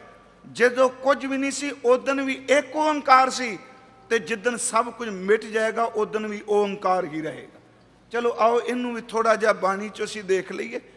ਵਿਸ਼ਾ ਗਹਿਰਾ ਹੈ, ਪਰ ਸਮਝ ਪਏਗੀ। ਪਿਆਰਿਓ, ਮੈਂ ਤਾਂ ਬੇਨਤੀ ਕਰਨੀ ਚਾਹਨਾ ਅਸੀਂ ਕੋਈ ਥਾਂ ਨਹੀਂ ਛੱਡਦੇ। ਇਹਨੂੰ ਹੰਕਾ ਈਰਖਾ ਚ ਨਾ ਜਾਇਓ। ਗੁਰੂ ਗ੍ਰੰਥ ਸਾਹਿਬ ਨੂੰ ਵੀ ਮੱਥਾ ਟੇਕਨੇ ਆ। ਮੜੀ ਤੇ ਵੀ ਦੀਵਾ ਬਾਲਣਾ ਭੁੱਲਦੇ ਨਹੀਂ। ਮੂਰਤੀ ਅੱਗੇ ਵੀ ਝੁਕਣੇ ਪਏ ਆ। ਖਿਮਾ ਕਰਿਓ, ਅਸੀਂ ਕੀਰਤਮ ਅੱਗੇ ਵੀ ਝੁਕਣੇ ਪਏ ਆ। ਇੱਕ ਓੰਕਾਰ ਨੂੰ ਮੰਨਣ ਵਾਲਿਆ, ਚੇਤੇ ਰੱਖ, ਇੱਕ ਤੇ ਭਰੋਸਾ ਰੱਖ ਕੇ ਜੀ, ਪਰ ਦੂਜੇ ਨਾਲ ਨਫ਼ਰਤ ਨਾ ਮਤ ਕਰ। ਹੁਣ ਇਹਦਾ ਅਰਥ ਇਹ ਨਹੀਂ ਕਿ ਆਪਾਂ ਦੂਜੇ ਧਰਮ ਨਾਲ ਖੇਟ ਕਰਾਂਗੇ। ਮੈਂ ਇੱਕ ਬੇਨਤੀ ਕਰਾਂਗਾ, ਬੀਬੀਆਂ, ਭੈਣਾਂ ਬੈਠੀਆਂ ਨੇ ਇੱਕ ਪਤੀਵਰਤਾ ਇਸਤਰੀ, ਇੱਕ ਬੀਬੀ ਭੈਣ, ਘਰ ਦੇ ਜਿਸ ਘਰ 'ਚ ਰਹਿੰਦੀ ਏ, ਉਸ ਘਰ ਵਿੱਚ ਉਹਦੇ ਦਿਓਰ ਵੀ ਨੇ, ਉਹਦਾ ਜੇਠ ਵੀ ਏ, ਉਹਦਾ ਸਸੁਰ, ਸਹੁਰਾ ਵੀ ਹੈ ਉਸ ਘਰ ਵਿੱਚ ਜੀ ਖੂਨ ਦੇ ਰਿਸ਼ਤੇ ਦੇ ਹੋਰ ਵੀ ਮਰਦ ਨੇ, ਪਰ ਯਾਦ ਰੱਖੋ ਜਿਹੜਾ ਸਬੰਧ ਉਹਦਾ ਆਪਣੇ ਪਤੀ ਨਾਲ ਹੈ ਉਹ ਹੀ ਉਹਦੇ ਸੁਹਾਗਣ ਦਾ ਚਿੰਨ ਹੈ ਇਸ ਦੁਨੀਆ 'ਚ ਬੇਅੰਤ ਧਰਮ ਨੇ ਪਰ ਸਿੱਖਾ ਜਿਹੜਾ ਸਬੰਧ ਤੇਰਾ ਆਪਣੇ ਗੁਰੂ ਨਾਲ, ਉਹ ਸਬੰਧ ਕਿਸੇ ਹੋਰ ਨਾਲ ਨਹੀਂ ਹੋਣਾ ਚਾਹੀਦਾ ਇਹਨੂੰ ਸਤਿਗੁਰੂ ਨੇ ਸੁਹਾਗਣ ਕਿਹਾ। ਇੱਕ ਦਾ ਅਰਥ ਸੁਹਾਗਣ। ਤਾਂ ਹੀ ਬਾਬਾ ਜੀ ਨੇ ਕਿਹਾ, ਟੁੰਡੇਂਦੀਏ, ਸੁਹਾਗ ਕੋ ਤਉ ਤਨ ਕਾਈ ਕੋਰ। ਸੁਹਾਗਣੇ ਤੇਰੇ ਘਰ ਚ ਕੀ ਨੁਕਸ ਪੈ ਗਿਆ? ਜਿੰਨਾ ਨਾਉ ਸੁਹਾਗਣੀ, ਤਿਨਾ ਝਾਕਣਾ ਹੋਰ। ਉਸ ਗੁਰਮੁਖ ਨੂੰ ਇੱਕ ਤੋਂ ਬਿਨਾ ਦੂਜੇ ਵੱਲ ਝਾਤੀ ਨਹੀਂ ਮਾਰਦਾ। ਮੈਂ ਬੇਨਤੀ ਕਰਾਂਗਾ ਸਭ ਤੋਂ ਪਹਿਲਾਂ ਇੱਕ ਨੂੰ ਦ੍ਰਿੜ ਕਰੋ। ਇਹ ਓੰਕਾਰ ਜਦੋਂ ਕੁਛ ਨਹੀਂ, ਉਦੋਂ ਇੱਕ ਸੀ। ਫਿਰ ਪਸਾਰਾ ਕਰਕੇ ਵੀ ਇੱਕ ਵਰਤਦੇ ਆ ਤੇ ਜਿੱਦਨ ਸਮੇਟਿਆ ਜਾਏਗਾ ਉਦੋਂ ਵੀ ਇੱਕ ਰਹੇਗਾ। ਇਹਨੂੰ ਥੋੜਾ ਬਾਣੀ ਚ ਸੂਈ ਰਾਗ ਚ ਇੱਕ ਬਚਨ ਆਉਂਦਾ ਜੀ। ਬਾਜ਼ੀਗਰ ਜੈਸੇ ਬਾਜੀ ਪਾਈ, ਨਾਨਾ ਰੂਪ ਭੇਕ ਦਖਲਾਈ, ਸਾੰਗ ਉਤਾਰ ਥਮਿਓ ਪਸਾਰਾ ਤਬ ਏਕੋ ਏਕੰਕਾਰਾ। ਮੇਰਾ ਖਿਆਲ ਇਹ ਸ਼ਾਇਦ ਨਾ ਸਰਲ ਸਮਝ ਪਏ, ਅਗਲੀ ਤੁਕ ਲੈ ਲਈਏ। ਜਲ ਤੇ ਉਠੈ ਅਨਕ ਤਰੰਗਾ, ਕਨਕ ਭੂਖਨ ਕੀਨੇ ਬਹੁ ਰੰਗਾ, ਬੀਜ ਬੀਜ ਦੇਖਿਓ ਬਹੁ ਪ੍ਰਕਾਰਾ, ਫਲ ਪਾਕੇ ਤੇ ਏਕੰਕਾਰਾ ਤਿੰਨ ਲਫ਼ਜ਼ ਨੇ ਤਰੰਗਾ, ਕਨਕ ਤੇ ਬੀਜ। ਮੰਨ ਲਓ ਅੱਜ ਬੀਬੀਆਂ ਪੈਣਾ ਕੋਈ ਗਹਿਣਾ ਪਾਉਂਦੀਆਂ ਨੇ। ਚਲੋ ਮੈਂ ਇੰਨੀ ਕੱਟੜਤਾ ਨਹੀਂ ਵਰਦਾ ਹੁੰਦਾ। ਮੈਂ ਕਹਿੰਦਾ ਉਹਨਾਂ ਨੱਕ ਛਿੱਦ, ਕੰਨ ਛਿੱਦ ਕਿਹਾ ਹੈ। ਮੰਨ ਲਓ ਜੇ ਕਿਸੇ ਬੀਬੀ ਨੇ ਚੂੜੀ ਪਾ ਵੀ ਲਈ, ਬੜੇ ਸਾਡੇ ਐਸੇ ਬੰਦੇ ਨੇ, ਮੈਂ ਇਹਦੇ ਆਦੀ ਰੋਟੀ ਨਹੀਂ ਖਾਣੀ, ਇਹਨੇ ਸੋਨੇ ਦਾ ਗਹਿਣਾ ਪਾਇਆ ਹੈ। ਉਹਨੂੰ 500 ਦਾ ਨੋਟ ਗਹਿਣਾ ਪਾਉਣ ਵਾਲੀ ਬੀਬੀ ਦੇ ਦੇ ਉਹ ਜੇਬ 'ਚ ਪਾ ਲਏਗਾ। ਇਹ ਕਿਹੋ ਜਿਹਾ ਡੰਬਰ ਹੈ ਸਾਡਾ? ਗੁਰੂ ਗ੍ਰੰਥ ਸਾਹਿਬ ਨੂੰ ਪੁੱਛੋ, ਕੀ ਗਹਿਣਾ ਪਾ ਸਕਨੇ ਆ? ਉਂਝ ਤਾਂ ਵੈਸੇ ਸਾਦਗੀ ਵਰਾ ਏਦੂ ਵੱਡਾ ਗਹਿਣਾ ਹੀ ਕੋਈ ਨਹੀਂ ਜੀ।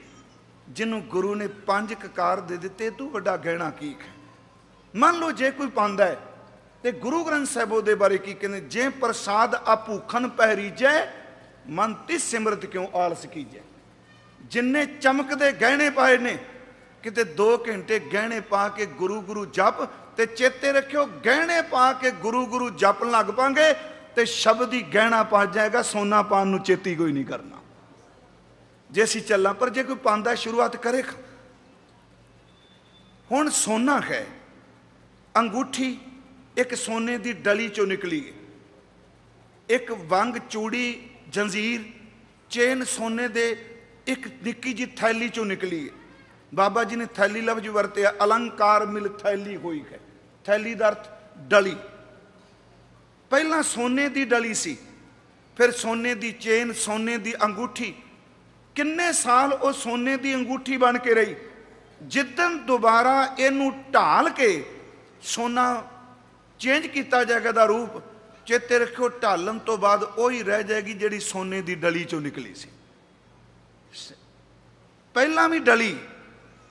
ਕੋਈ ਸਮਾਂ ਗਹਿਣਾ ਬਣਿਆ, ਪਰ ਸੋਨਾ ਨਾਲ ਹੀ ਰਿਹਾ। ਅੰਗੂਠੀ ਸੋਨੇ ਦੀ ਹੀ ਰਹੀ ਏ। ਓੰਕਾਰ ਇਸ ਤਰ੍ਹਾਂ ਜਿਵੇਂ ਸੋਨੇ ਦੀ ਡਲੀ, ਉਹਦੇ ਵਿੱਚੋਂ ਸੰਸਾਰ ਦੀ ਪਦਾਇਸ਼ ਹੋਈ। ਪਰ ਚੂੜੀ ਜੋ ਵੀ ਗਹਿਣਾ ਬਣੇ, ਸੋਨੇ ਨੂੰ ਕਦੀ ਗਹਿਣੇ ਤੋਂ ਵੱਖ ਕਰ ਹੀ ਨਹੀਂ ਸਕਾਂਗੇ। ਜਿੱਦਨ ਸਾਰੇ ਗਹਿਣੇ ਟੁੱਟ ਜਾਣਗੇ, ਫਿਰ ਸੋਨੇ ਦਾ ਸੋਨਾ ਰਹਿ ਜਾਏਗਾ। ਉਹ ਓੰਕਾਰ ਹੈ ਪਹਿਲਾਂ। ਹੁਣ ਜੋ ਕੁਝ ਉਹਨੇ ਸਿਰਜਿਆ ਸਾਰੇ ਗਹਿਣੇ ਜੇ। ਜਿੰਨੀ ਜੋ ਕੋਈ ਦ੍ਰਿਸ਼ਟਮਾਨ ਹੈ। ਜਿੱਦਨ ਸਾਰੇ ਗਹਿਣੇ ਤੋੜ ਦੇਗਾ ਉਦੋਂ ਰਹਿ ਜਾਏਗਾ ਆਪ ਹੀ ਸੋਨਾ ਜਿਹਦੇ ਵਿੱਚੋਂ ਨਿਕਲਿਆ। ਮੈਂ ਬੇਨਤੀ ਕਰਾਂ, ਬੀਜ। ਮੰਨ ਲਓ ਇੱਕ ਅੰਬ ਦੀ ਗਿਟਕ ਜ਼ਮੀਨ 'ਚ ਬੀਜੀ। ਮੈਂ ਲਫ਼ਜ਼ ਤਾਂ ਲੈ ਲਿਆ, ਭਾਈ ਸਾਹਿਬ ਨੇ ਸ਼ਬਦ ਪੜਿਆ ਸੰਗਤ ਨੇ ਬੜੇ ਪਿਆਰ ਨਾਲ ਗਾਇਆ। ਕਿ ਹਰ ਇੱਕੋ ਦਾਤਾ ਸੇਵੀ ਹੈ, ਇੱਕੋ ਦਾਤਾ ਮੰਗਿਆ ਲਫ਼ਜ਼ ਵਰਤੇ, ਇੱਕੋ ਧਿਆਉਣ ਦੀ ਗੱਲ ਕੀਤੀ। ਅੰਬ ਦੀ ਗਿਟਕ ਜ਼ਮੀਨ 'ਚ ਬੀਜੀ, ਉਹਦੇ ਵਿੱਚੋਂ ਅੰਕੁਰ ਨਿਕਲਿਆ। ਚਲੋ ਅੱਜ ਕੱਲ ਅੰਬ ਦੇ ਪੇਡੇ ਐਸੇ ਵੀ ਨੇ ਜਿਹੜੇ 4-5 ਸਾਲ ਬਾਅਦ ਵੀ ਫਲ ਦੇਣ ਲੱਗ ਪੈਂਦੇ ਅੱਜ ਕੱਲ ਇਹੋ ਜੀ ਵੈਰਾਈਟੀ ਵੀ ਆ ਗਈ। ਪਰ ਤੁਸੀਂ ਦੇਖੋ, ਉਸ ਗੁਠਲੀ ਵਿੱਚੋਂ ਲੱਕੜ ਦੇ ਕਵਰ ਦੇ ਵਿੱਚ ਰੱਬ ਨੇ ਬੀਜ ਸਾਂਭ ਕੇ ਰੱਖਿਆ। ਬੜਾ ਬੇਅੰਤੀ ਹੋ ਉਸ ਲੱਕੜ ਦੇ ਕਵਰ ਵਿੱਚੋਂ ਕਿਸੇ ਨੇ ਅੰਬ ਦੀ ਗਿਟਕ ਬੀਜਦਿਆਂ ਉੱਪਰੋਂ ਉਹਨੂੰ ਤੋੜਿਆ ਨਹੀਂ, ਕਿਉਂਕਿ ਜਿਹਦੇ ਵਿੱਚ ਪੁੰਗਰਨ ਦੀ એનર્ਜੀ ਹੋਵੇ, ਉਹ ਲੱਕੜ ਦੇ ਕਵਰ ਨੂੰ ਵੀ ਤੋੜ ਕੇ ਬਾਹਰ ਨਿਕਲ ਆਉਂਦਾ ਹੈ। ਪਿਆਰਿਓ, ਜਿਹਦੇ ਅੰਦਰ ਰੱਬ ਦੀ ਖਿੱਚ ਪੈਦਾ ਹੋ ਜਾਏ, ਦੁਨੀਆ ਦੇ ਬੰਧਨ ਤੋੜ ਕੇ ਵੀ ਬਾਹਰ ਆ ਜਾਂਦਾ ਹੈ। ਉਸ ਗੁਠਲੀ ਵਿੱਚੋਂ ਅੰਬ ਦਾ ਅੰਕੁਰ ਨਿਕਲਿਆ। ਤਣਾ ਬਣਿਆ, ਸ਼ਾਖਾਵਾਂ ਬਣੀਆਂ, ਪੱਤੇ ਬਣੇ। ਉਹਨੂੰ ਫੁੱਲ ਨਹੀਂ ਪੈਂਦੇ, ਉਹਨੂੰ ਬੂਰ ਪੈਂਦਾ ਅੰਬਾਂ ਦਾ ਬੂਰ ਹੁੰਦਾ ਅੰਬ ਨੂੰ ਬੂਰ ਪਿਆ, ਤੇਜ ਹਵਾ ਆਈ, ਬੂਰ ਝੜ ਗਿਆ। ਪਰ ਜਿਸ ਦਿਨ ਅੰਬ ਪੱਕਿਆ, ਪੱਕਦੇ ਹੋਏ ਅੰਬ ਨੂੰ ਚੂਸਿਆ ਜਾਂ ਕੱਟਿਆ ਤੇ ਚੇਤੇ ਰੱਖਿਓ, ਕਈ ਸਾਲਾਂ ਬਾਅਦ ਇਸ ਸਾਰੇ ਆਕਾਰ ਵਿੱਚੋਂ ਜੇ ਅਖੀਰ ਤੇ ਉਹੀ ਨਿਕਲਿਆ, ਜਿਸ ਗੁਠਲੀ ਵਿੱਚੋਂ ਅੰਬ ਨੂੰ ਬੀਜਿਆ ਗਿਆ ਸੀ। ਇੱਕ ਗੁਠਲੀ ਦਾ ਵਿਸਤਾਰ ਹੈ ਅੰਬ। ਆ ਹਿੰਦੂ ਆ ਮੁਸਲਮਾਨ, ਇਸ ਪਲੈਨਟ ਦੀ ਗੱਲ ਹੀ ਛੱਡੋ ਪਰਾਂ। ਮੈਂ ਪਿਛਲੇ ਦਿਨੀ ਅਮਰੀਕਾ ਇੱਕ ਬੇਨਤੀ ਕੀਤੀ ਸੀ ਗੁਰੂ ਗ੍ਰੰਥ ਸਾਹਿਬ ਬਾਰੇ। ਅਸੀਂ ਕਹਿੰਦੇ ਸਿੱਖਾਂ ਦਾ ਗੁਰੂ। ਬਿਲਕੁਲ ਝੂਠ ਜੇ। ਮੇਰੀ ਬੇਨਤੀ ਹੈ। ਇਹ ਹੋ ਸਕਦਾ ਹੈ ਕਈ ਕੱਟੜ ਸੱਜਣ ਇਹ ਨਾ ਸਵੀਕਾਰ ਕਰਨ। ਉਹ ਗੁਰੂ ਗ੍ਰੰਥ ਸਾਹਿਬ ਨੂੰ ਇਸ ਧਰਤੀ ਦਾ ਗੁਰੂ ਮਤ ਕਹੋ। ਜੇ ਨੂੰ ਇੱਕ ਕਮਿਊਨਿਟੀ ਤੇ ਇੱਕ ਪਲੈਨਟ ਦਾ ਗੁਰੂ ਕਹੋਗੇ ਤੇ ਇਹਦੀ ਬੇਅੰਤਤਾ ਨੂੰ ਖੋਰਾ ਲੱਗੇਗਾ। ਗੁਰੂ ਹੋਵੇ ਜਿਹੜਾ ਕਰੋੜਾਂ ਬ੍ਰਹਮੰਡਾਂ ਨੂੰ, ਸ੍ਰਿਸ਼ਟੀਆਂ ਨੂੰ ਚੀਰ ਕੇ ਵੀ ਆਦ ਸੱਚ ਰਹਿੰਦਾ ਹੈ। ਜੇ ਤੁਸੀਂ ਇਹਨੂੰ ਇੱਕ ਧਰਤੀ ਦਾ ਗੁਰੂ ਮੰਨੋਗੇ, ਮੇਰੀ ਬੇਨਤੀ, ਇਸ ਹਿੰਦੂ ਵੀਰ ਬੈਠੇ ਹੋਣ, ਕ੍ਰਿਸ਼ਨ ਜੀ ਕਿੰਨੇ ਹੋਏ ਨੇ ਇਸ ਧਰਤੀ ਤੇ? ਇੱਕ ਹੋਏ ਨਾ? ਸ਼ਿਵ ਜੀ ਇੱਕ ਹੋਏ ਨੇ ਨਾ? ਬ੍ਰਹਮਾ ਜੀ ਇੱਕ ਹੋਏ ਨੇ, ਬੁੱਧ ਇੱਕ ਹੋਏ ਪਰ ਗੁਰੂ ਨਾਨਕ ਨੂੰ ਪੁੱਛ ਕੇ ਦੇਖੋ ਕਹਿੰਦੇ ਤੇਰੇ ਪਲੈਨਟ ਦਾ ਇੱਕ ਹੈ। ਪਰ ਸੁਰਤ ਦੀ ਉਡਾਰੀ ਮਾਰ ਕੇ ਦੇਖ ਪਤਾ ਨਹੀਂ ਸ੍ਰਿਸ਼ਟੀ ਵਿੱਚ ਕਿੰਨੇ ਕੁ ਕ੍ਰਿਸ਼ਨ ਨੇ, ਕਿੰਨੇ ਕੁ ਬ੍ਰਹਮਾ ਨੇ। ਆ ਗਿਆਨ ਖੰਡ ਵਾਲੀ ਪੌੜੀ ਸੱਚਮੁੱਚ ਸਾਨੂੰ ਪਲੈਨਟ ਇਸ ਧਰਤੀ ਦੇ ਦਾਇਰੇ ਤੋਂ ਤੋੜ ਕੇ ਕਿਤੇ ਅੱਗੇ ਲੈ ਜਾਂਦੀ। ਜਦੋਂ ਅਸੀਂ ਪੜ੍ਹਨੇ ਧਰਮ ਖੰਡ ਕਾ ਇਹੋ ਧਰਮ, ਗਿਆਨ ਖੰਡ ਕਾ ਆਖੋ ਕਰਮ।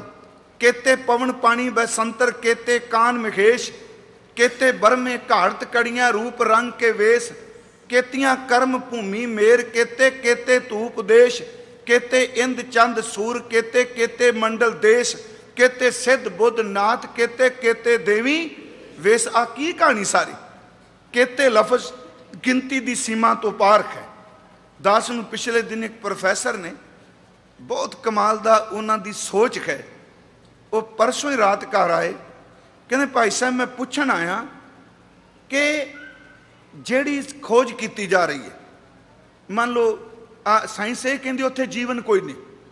ਕਿਹਾ ਜਾਂਦਾ ਨਾ, ਫਲਾਣੇ ਪਲੈਨਟ ਤੇ ਜੀਵਨ ਕੋਈ ਨਹੀਂ। ਜੀਵਨ ਦਾ ਅਰਥ ਕੇਵਲ ਸਾਡੀ ਤਰ੍ਹਾਂ ਬਾਡੀ ਨਹੀਂ। ਹੋ ਸਕਦਾ ਹੈ ਕਿ ਦੂਸਰੇ ਧਰਤੀਆਂ ਦੇ ਉੱਪਰ ਜੀਵਨ ਹੋਵੇ, ਪਰ ਅਦ੍ਰਿਸ਼ਟ ਹੋਵੇ, ਸਾਨੂੰ ਨਜ਼ਰ ਨਾ ਆਉਂਦਾ ਹੋਵੇ। ਫਿਰ ਬੇਨਤੀ ਸੁਣਿਓ। ਜੀਵਨ ਦਾ ਅਰਥ ਕੇਵਲ ਬੰਦੇ ਦੀ ਆ ਬਾਡੀ ਨਹੀਂ। ਜੀਵਨ ਦਾ ਅਰਥ ਕੇਵਲ ਪੇੜ ਪੌਦੇ ਨਹੀਂ। ਹੋ ਸਕਦਾ ਰੱਬ ਦੀ ਰਚੀ ਕੋਈ ਰਚਨਾ ਵਿੱਚ ਉਹ ਜੀਵਨ ਹੋਵੇ ਜਿਹੜਾ ਨਜ਼ਰ ਨਾ ਆਉਂਦਾ ਹੋਵੇ। ਮੈਂ ਕਿਹਾ ਬਿਲਕੁਲ ਗੁਰੂ ਗ੍ਰੰਥ ਸਾਹਿਬ ਨੇ ਕਿਹਾ ਤੇ ਸੋਦਰ ਦੇ ਸ਼ਬਦ ਨੇ ਕਿਹਾ ਕਿ ਤੈਨੂੰ ਗੁਪਤ ਵੀ ਬੜੇ ਗਾਉਂਦੇ ਪਏ ਨੇ। ਹੋਰ ਕੇਤੇ ਤੁਧ ਨੂੰ ਗਾਵਨ ਸੇ ਮੈਂ ਚਿਤ ਨਾ ਆਵਨ। ਉਹਨਾਂ ਦੇ ਆਕਾਰ ਨਹੀਂ ਦਿਸਦੇ। ਪਰ ਅਦ੍ਰਿਸ਼ ਨੂੰ ਗਾਉਂਦੇ ਪਏ ਨੇ, ਮੈਂ ਬੇਨਤੀ ਕਰਾਂਗਾ ਗੁਰਮਖੋ, ਗੁਰੂ ਗ੍ਰੰਥ ਸਾਹਿਬ ਦੇ ਸ਼ਬਦ ਨੂੰ ਦਾਇਰੇ 'ਚ ਮਤ ਬੰਨੋ। ਅਸੀਂ ਆਪਣੀ ਖੌਮੇ ਦੇ ਰਸੇ 'ਚ ਬਨ ਕੇ ਈਗੋ 'ਚ ਜੀਨੇ ਆ। ਜਦੋਂ ਸ਼ਬਦ ਵਿੱਚ ਕੋਈ ਜੁੜਦਾ ਹੈ, ਉਹ ਤਾਂ ਇਸ ਧਰਤੀ ਨੂੰ ਚੀਰ ਕੇ ਉਹਦੀ ਸੁਰਤ ਉੱਥੇ ਪਹੁੰਚ ਜਾਂਦੀ ਹੈ, ਤਿੱਥੇ ਖੰਡ ਮੰਡਲ ਵਰ ਭੰਡ, ਜੇ ਕੋ ਕਥ ਹੈ ਤਾਂ ਅੰਤ ਨਾ ਅੰਤ। ਉਹ ਓੰਕਾਰ ਸਭ ਕੁਝ ਉਹਨੇ ਰਚਿਆ, ਪਰ ਯਾਦ ਰੱਖਿਓ ਇੱਕ ਜੇ ਉਹਨੂੰ ਦੋ ਤਿੰਨ ਟੁਕੜੇ ਮਤ ਕਰਕੇ ਪੁੱਛੋ ਮੈਂ ਬੇਨਤੀ ਕਰਾਂਗਾ, ਵੇਦ ਕਹਿੰਦਾ ਇੱਕ ਬ੍ਰਹਮ ਸਿਰਫ ਸਤ ਹੋਵੇ, ਦੂਜਾ ਦੁੱਤੀਆ ਸਤ ਨਹੀਂ। ਪਰ ਜਿਸ ਦਿਨ ਬਾਬਾ ਜੀ ਦੀ ਬਾਣੀ ਪੜ੍ਹਨੇ ਆ, ਸਭ ਤੋਂ ਪਹਿਲੀ ਗੱਲ ਕਿ ਇੱਕ ਨੂੰ ਪੁੱਜੋ, ਜਿੱਥੇ ਦੋ ਆ ਜਾਣਗੇ, ਉੱਥੇ ਕਲੇਸ਼ ਪਏਗਾ। ਮੈਂ ਇੱਕ ਤੁਹਾਨੂੰ ਇੱਥੇ ਉਦਾਹਰਨ ਦੇ ਦੇਣਾ ਸ਼੍ਰੀਮਾਨ ਭਾਈ ਗੁਰਦਾਸ ਸਾਹਿਬ ਨੂੰ ਕਿਸੇ ਪੁੱਛਿਆ ਵੀ ਦੋ ਦੀ ਗੱਲ ਕਿਉਂ ਨੇ?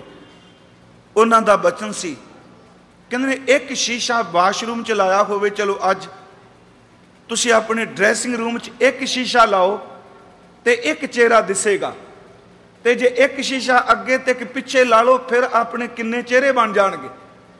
ਇੱਕ ਦਰਪਣ ਵਿੱਚੋਂ ਇੱਕ ਹੀ ਫੇਸ ਦਿਸੇਗਾ। ਦੋ ਸ਼ੀਸ਼ਿਆਂ ਵਿੱਚੋਂ ਬੇਅੰਤ ਚਿਹਰੇ ਬਣ ਜਾਣਗੇ। ਇੱਕ ਤੇ ਆਸਤਾ ਰੱਖ ਕੇ ਚੱਲੇਗਾ ਤੇ ਨਿਜ ਸਰੂਪ ਵਿੱਚ ਟੁਕੇਗਾ ਜੇ ਦੋ ਦਾ ਸਹਾਰਾ ਲੈਣ ਲੱਗ ਪੈਗਾ ਤੇਰਾ ਅੰਦਰ ਪਤਾ ਨਹੀਂ ਖਿੰਡ ਕੇ ਕਿੰਨੇ ਕੁ ਟੁਕੜੇ ਹੋ ਜਾਏ। ਇੱਕ ਸ਼ੀਸ਼ੇ ਸਿਰਫ ਇੱਕੋ ਚਿਹਰਾ ਦਿਸਦਾ ਦੋ ਸ਼ੀਸ਼ਿਆਂ 'ਚ ਪਤਾ ਨਹੀਂ, ਤੁਸੀਂ ਦੇਖਦੇ ਹੋ ਕਿੰਨੇ ਕਿੰਨੇ ਚਿਹਰੇ ਬਣ ਜਾਂਦੇ ਦਲਦਲ 'ਚ ਬੰਦਾ ਫਸਿਆ ਹੋਵੇ, ਇੱਕ ਨੂੰ ਬਾਹ ਪਕੜਾ ਦਿਓ, ਜਾਂ ਸੱਜੇ ਜਾਂ ਖੱਬੇ। ਜਿਹੜਾ ਬੰਦਾ ਦੋਵੇਂ ਬਾਹਾਂ ਪਕੜਾ ਦਿੰਦਾ ਉਹ ਦਲਦਲ 'ਚੋਂ ਨਹੀਂ ਨਿਕਲਦਾ, ਚੇਤੇ ਰੱਖਿਓ, ਉਹਦੀਆਂ ਬਾਹਾਂ ਸਰੀਰ 'ਚੋਂ ਨਿਕਲ ਜਾਂਦੀਆਂ ਖੱਬੇ ਵਾਲਾ ਆਪਣੇ ਵੱਲ ਖਿੱਚ ਰਿਹਾ, ਸੱਜੇ ਵਾਲਾ ਆਪਣੇ ਵੱਲ। ਇੱਕ ਬੇੜੀ ਤੇ ਪੈਰ ਰੱਖੋ, ਸੱਚਮੁੱਚ ਪਾਰ ਹੋਵਾਂਗੇ। ਦੋ ਬੇੜੀਆਂ ਤੇ ਪੈਰ ਰੱਖਣ ਵਾਲਾ ਕਿਵੇਂ ਪਾਰ ਹੋਵੇਗਾ? ਇੱਕ ਪਤੀ ਤੇ ਭਰੋਸਾ ਰੱਖਣ ਵਾਲੀ ਧੀ ਪੈਣ ਸੁਹਾਗਣ ਹੋਵੇਗੀ। ਦੋ ਤੇ ਭਰੋਸੇ ਨਾਲ ਜੀਣ ਵਾਲੀ ਨੂੰ ਕਦੀ ਸੁਹਾਗਣ ਨਹੀਂ ਕਿਹਾ ਜਾਏਗਾ। ਭਾਈ ਸਾਹਿਬ ਦਾ ਇੱਕ ਕਵਿਤ ਹੈ ਜੀ ਕਿ ਦੋਏ ਦਰਪਨ ਦੇਖੈ, ਏਕ ਸੇ ਅਨੇਕ ਰੂਪ, ਦੋਏ ਨਾਉ ਪਾਉ ਧਰੈ, ਪਹੁੰਚੈ ਨਾ ਪਾਰ ਹੈ ਦੋਏ ਦਿਸ਼ਾ ਗਏ, ਗਹਾਏ ਸਾ ਹਾਥ ਪਾਉ ਟੂਟੇ ਦੋ ਰਾਹੇ, ਦੋ ਚਿੱਤੇ, ਕੋਈ ਭੂਲ ਪਗ ਤਾਰ ਹੈ।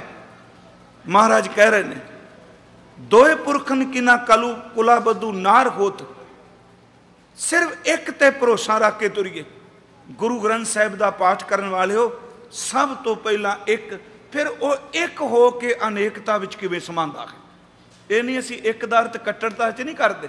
ਗੁਰੂ ਗੋਬਿੰਦ ਸਿੰਘ ਜੀ ਦੇ ਬੋਲ ਨੇ, ਅਮਾਨ ਹੈ, ਨਿਦਾਨ ਹੈ, ਅਨੇਕ ਹੈ, ਫਿਰ ਇੱਕ।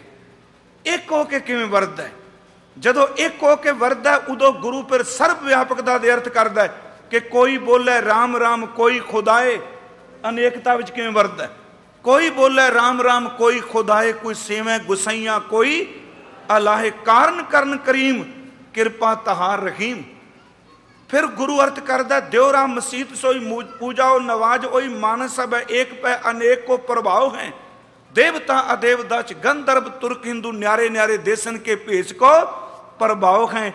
ਇੱਕ ਦੀ ਸਮਝ ਪੈ ਜਾਏ, ਚੇਤੇ ਰੱਖਿਓ, ਫਿਰ ਅੱਖਰਾਂ ਦੇ ਰੌਲੇ 'ਚ ਨਹੀਂ ਬੰਦਾ ਪੈਂਦਾ। ਮੇਰਾ ਰਾਮ ਹੈ, ਤੇਰਾ ਅੱਲਾ ਹੈ। ਚੇਤੇ ਰੱਖਿਓ, ਬਹੁਤ ਸਾਰੇ ਬੰਦੇ ਰੱਬ ਦੇ ਅਸਲੀ ਗੁਣ ਨੂੰ ਜਾਣਨ ਤੋਂ ਬਿਨਾ ਅੱਖਰਾਂ ਦੀ ਲੜਾਈ ਵਿੱਚ ਹੀ ਖੂਨ ਵਹਾਈ ਜਾਂਦੇ। ਮੈਂ ਕਈ ਵਾਰੀ ਸੋਚਣਾ ਅੱਜ ਕੱਲ ਚਲੋ, ਨੈਟ ਆ ਗਿਆ। ਇੱਕ ਬੰਦੇ ਦੀ ਗਰਦਨ ਕੱਟ ਰਿਹਾ। ਜੋ ਅਰਬ ਚ ਹੋ ਰਿਹਾ ਜਿਹਦੀ ਗਰਦਨ ਕਟਿੰਦੀ ਪਈ ਉਹ ਕਹਿੰਦਾ ਅੱਲਾਹੂ ਅਕਬਰ। ਤੇ ਜਿਹੜਾ ਛੁਰੀ ਨਾਲ ਕੱਟਦਾ ਪਿਆ, ਉਹ ਵੀ ਕਹਿੰਦਾ ਅੱਲਾਹੂ ਅਕਬਰ।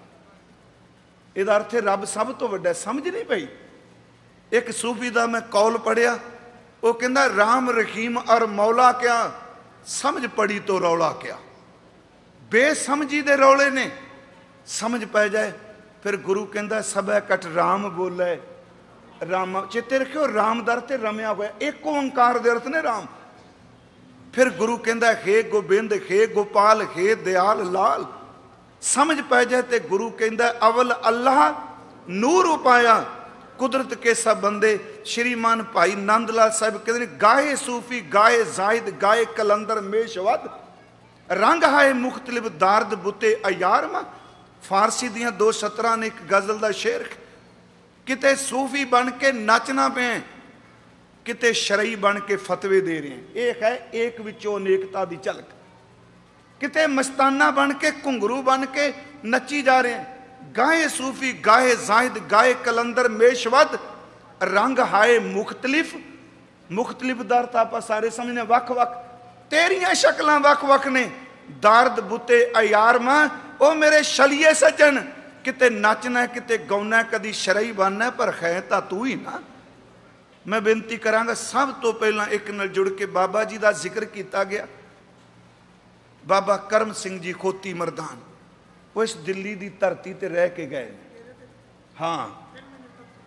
ਬਾਬਾ ਕਰਮ ਸਿੰਘ ਹੁਣੀ, ਪਿਆਰੇ ਭਾਈ ਦਇਆ ਸਿੰਘ ਜੀ ਤੋਂ ਇਹ ਸੰਪਰਦਾ ਚੱਲਦੀ ਹੈ। ਖਾਸ ਕਰਕੇ ਮੈਂ ਅਰਜ਼ ਕਰਾਂਗਾ, ਕਿਸੇ ਨੇ ਡਿਟੇਲ ਨਾਲ ਪੜਨਾ ਹੋਵੇ ਤੇ ਨੌ ਰਤਨ ਕਿਤਾਬ ਜ਼ਰੂਰ ਪੜਿਓ ਹਾਂ, ਨੌ ਰਤਨ ਕਿਤਾਬ 'ਚ ਸਾਰਾ ਜ਼ਿਕਰ ਦਿੱਤਾ, ਪਰ ਇੱਕ ਘਟਨਾ ਮੈਂ ਅਕਸਰ ਸੁਣਾਣਾ ਹੁਣਾ ਗਦਰ ਦੀ 57 ਦੇ ਗਦਰ ਦੀ। ਬਾਬਾ ਕਰਮ ਸਿੰਘ ਫੌਜ ਵਿੱਚ ਭਰਤੀ ਨੇ। ਹੁਣ ਤਾਂ ਚਲੋ ਇਹ ਵੀ ਪ੍ਰਚਾਰ ਹੋਣ ਲੱਗ ਪਿਆ ਜੀ, ਅੰਗਰੇਜ਼ਾਂ ਦੀ ਚਾਲ ਸੀ, ਜਿੰਨੇ ਬਾਬੇ ਆਏ, ਫੌਜ 'ਚ ਕਿਉਂ ਆਏ? ਬੰਦੇ ਦਾ ਧਿਆਨ ਹੀ ਕਿਸੇ ਪਾਸੇ ਲਿਜਾਣਾ ਹੈ ਨਾ। ਜਿਵੇਂ ਕਹਿਣ ਲੱਗ ਪਿਆ ਵੀ ਅੰਮ੍ਰਿਤ ਸੰਚਾਰ ਵਿੱਚ ਦਸਮ ਦੀਆਂ ਤਿੰਨ ਬਾਣੀਆਂ ਕਿਉਂ ਪੜੀਆਂ ਜਾਂਦੀਆਂ ਨੇ, ਇਹ ਵੀ ਇੱਕ ਸਾਜ਼ਿਸ਼ ਹੈ। ਚੇਤੇ ਰੱਖੋ, ਕੌਮ ਨੂੰ ਖੰਡਾਣਾ ਹੀ ਹੈ ਨਾ। ਬੜ, ਯਾਦ ਰੱਖੋ, ਕਿਸੇ ਨੂੰ ਖੰਡਾਣ ਲਈ ਘਰ ਨੂੰ ਪਾੜਨ ਵਾਸਤੇ ਪੜਨ ਦੀ ਲੋੜ ਨਹੀਂ ਪੈਂਦੀ।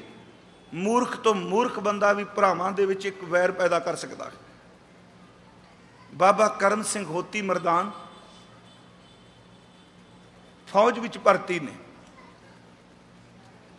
1857 ਦਾ ਗਦਰ ਹੋਇਆ ਅੰਗਰੇਜ਼ ਨੇ 8 ਪੈਰਾਂ ਦੀ ਖੁੱਲ ਦੇ ਦਿੱਤੀ ਕਿ ਜਿੰਨਾ ਮਰਜ਼ੀ ਕੋਈ ਫੌਜੀ ਲੁੱਟ ਲੈ, ਉਹ ਭਾਵੇਂ ਮਾਲ ਅਸਬਾਬ ਹੋਵੇ ਤੇ ਚੇਤੇ ਰੱਖਿਓ ਭਾਵੇਂ ਉਹ ਸੁਹਾਪਣ ਹੋਵੇ।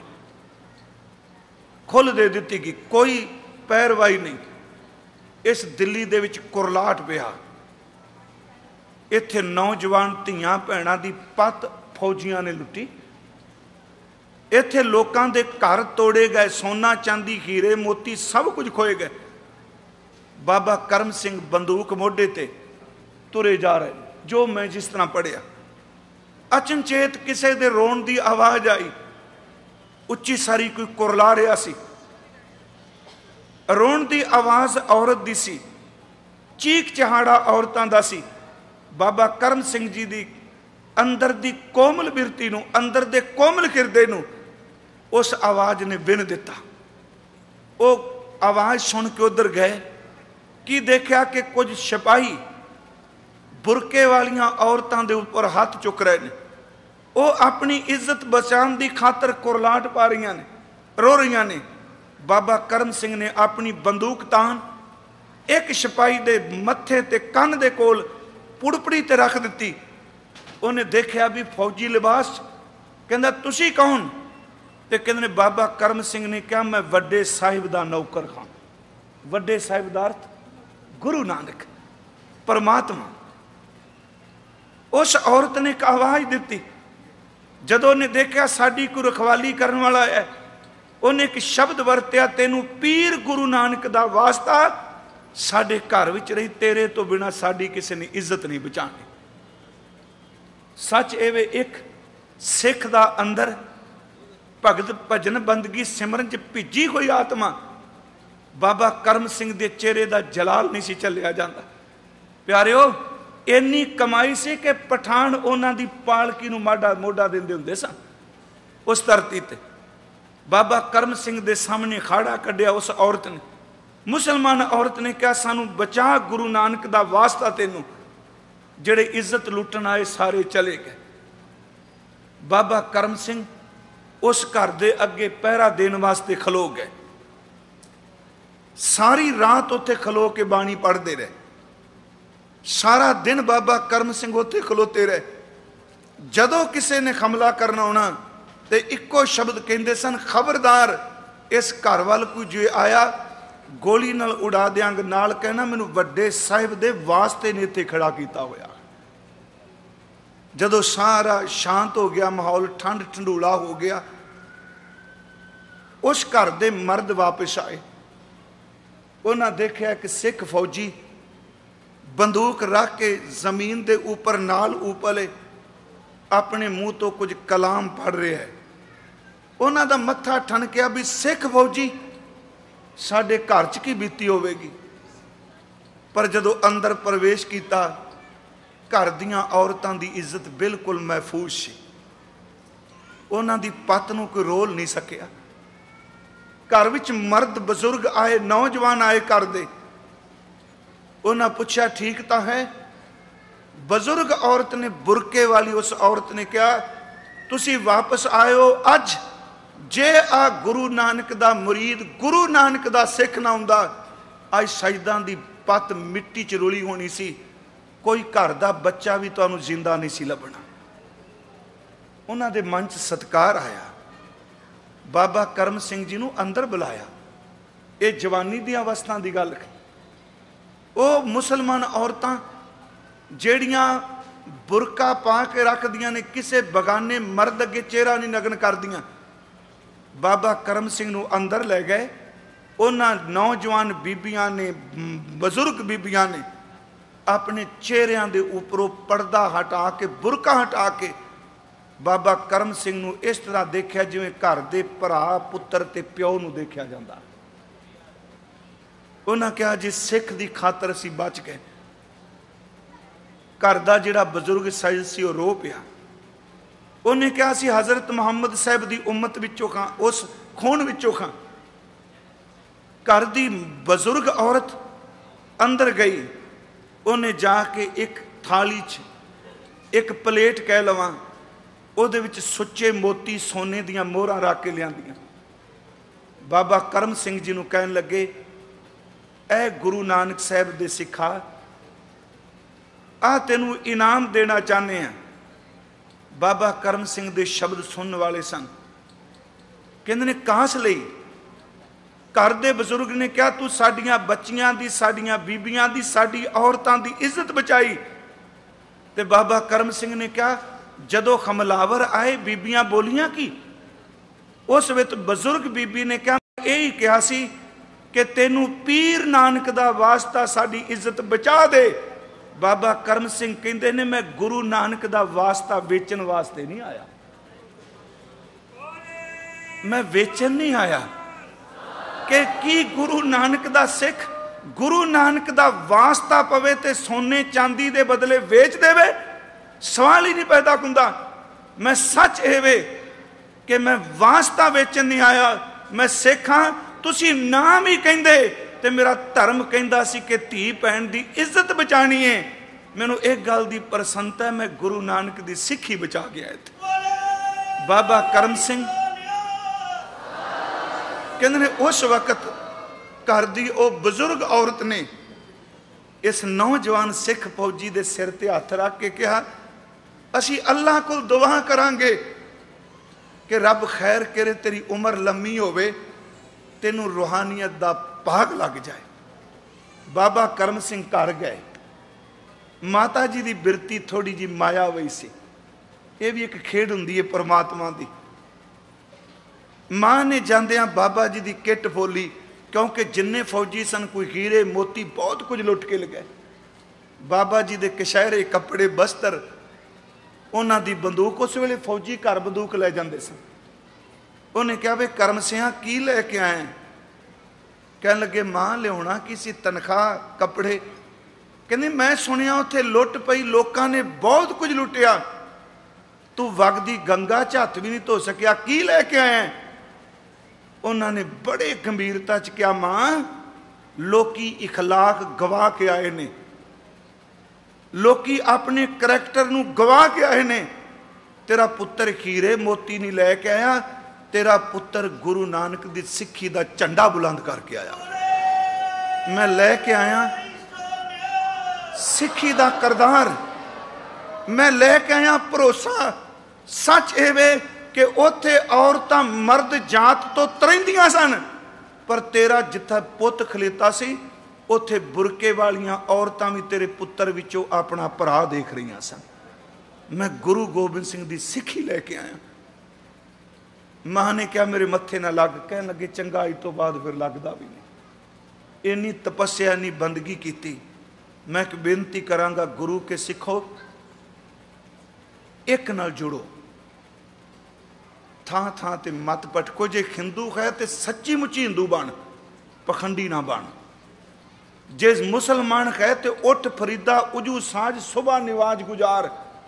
ਜੇ ਸਿੱਖ ਹੈ ਤੇ ਥਾਂ ਥਾਂ ਤੇ ਝੁਕੀ ਨਾ ਜਾ, ਗੁਰੂ ਗ੍ਰੰਥ ਸਾਹਿਬ ਨੂੰ ਆਪਣਾ ਆਪਾ ਦੇ ਦੇ।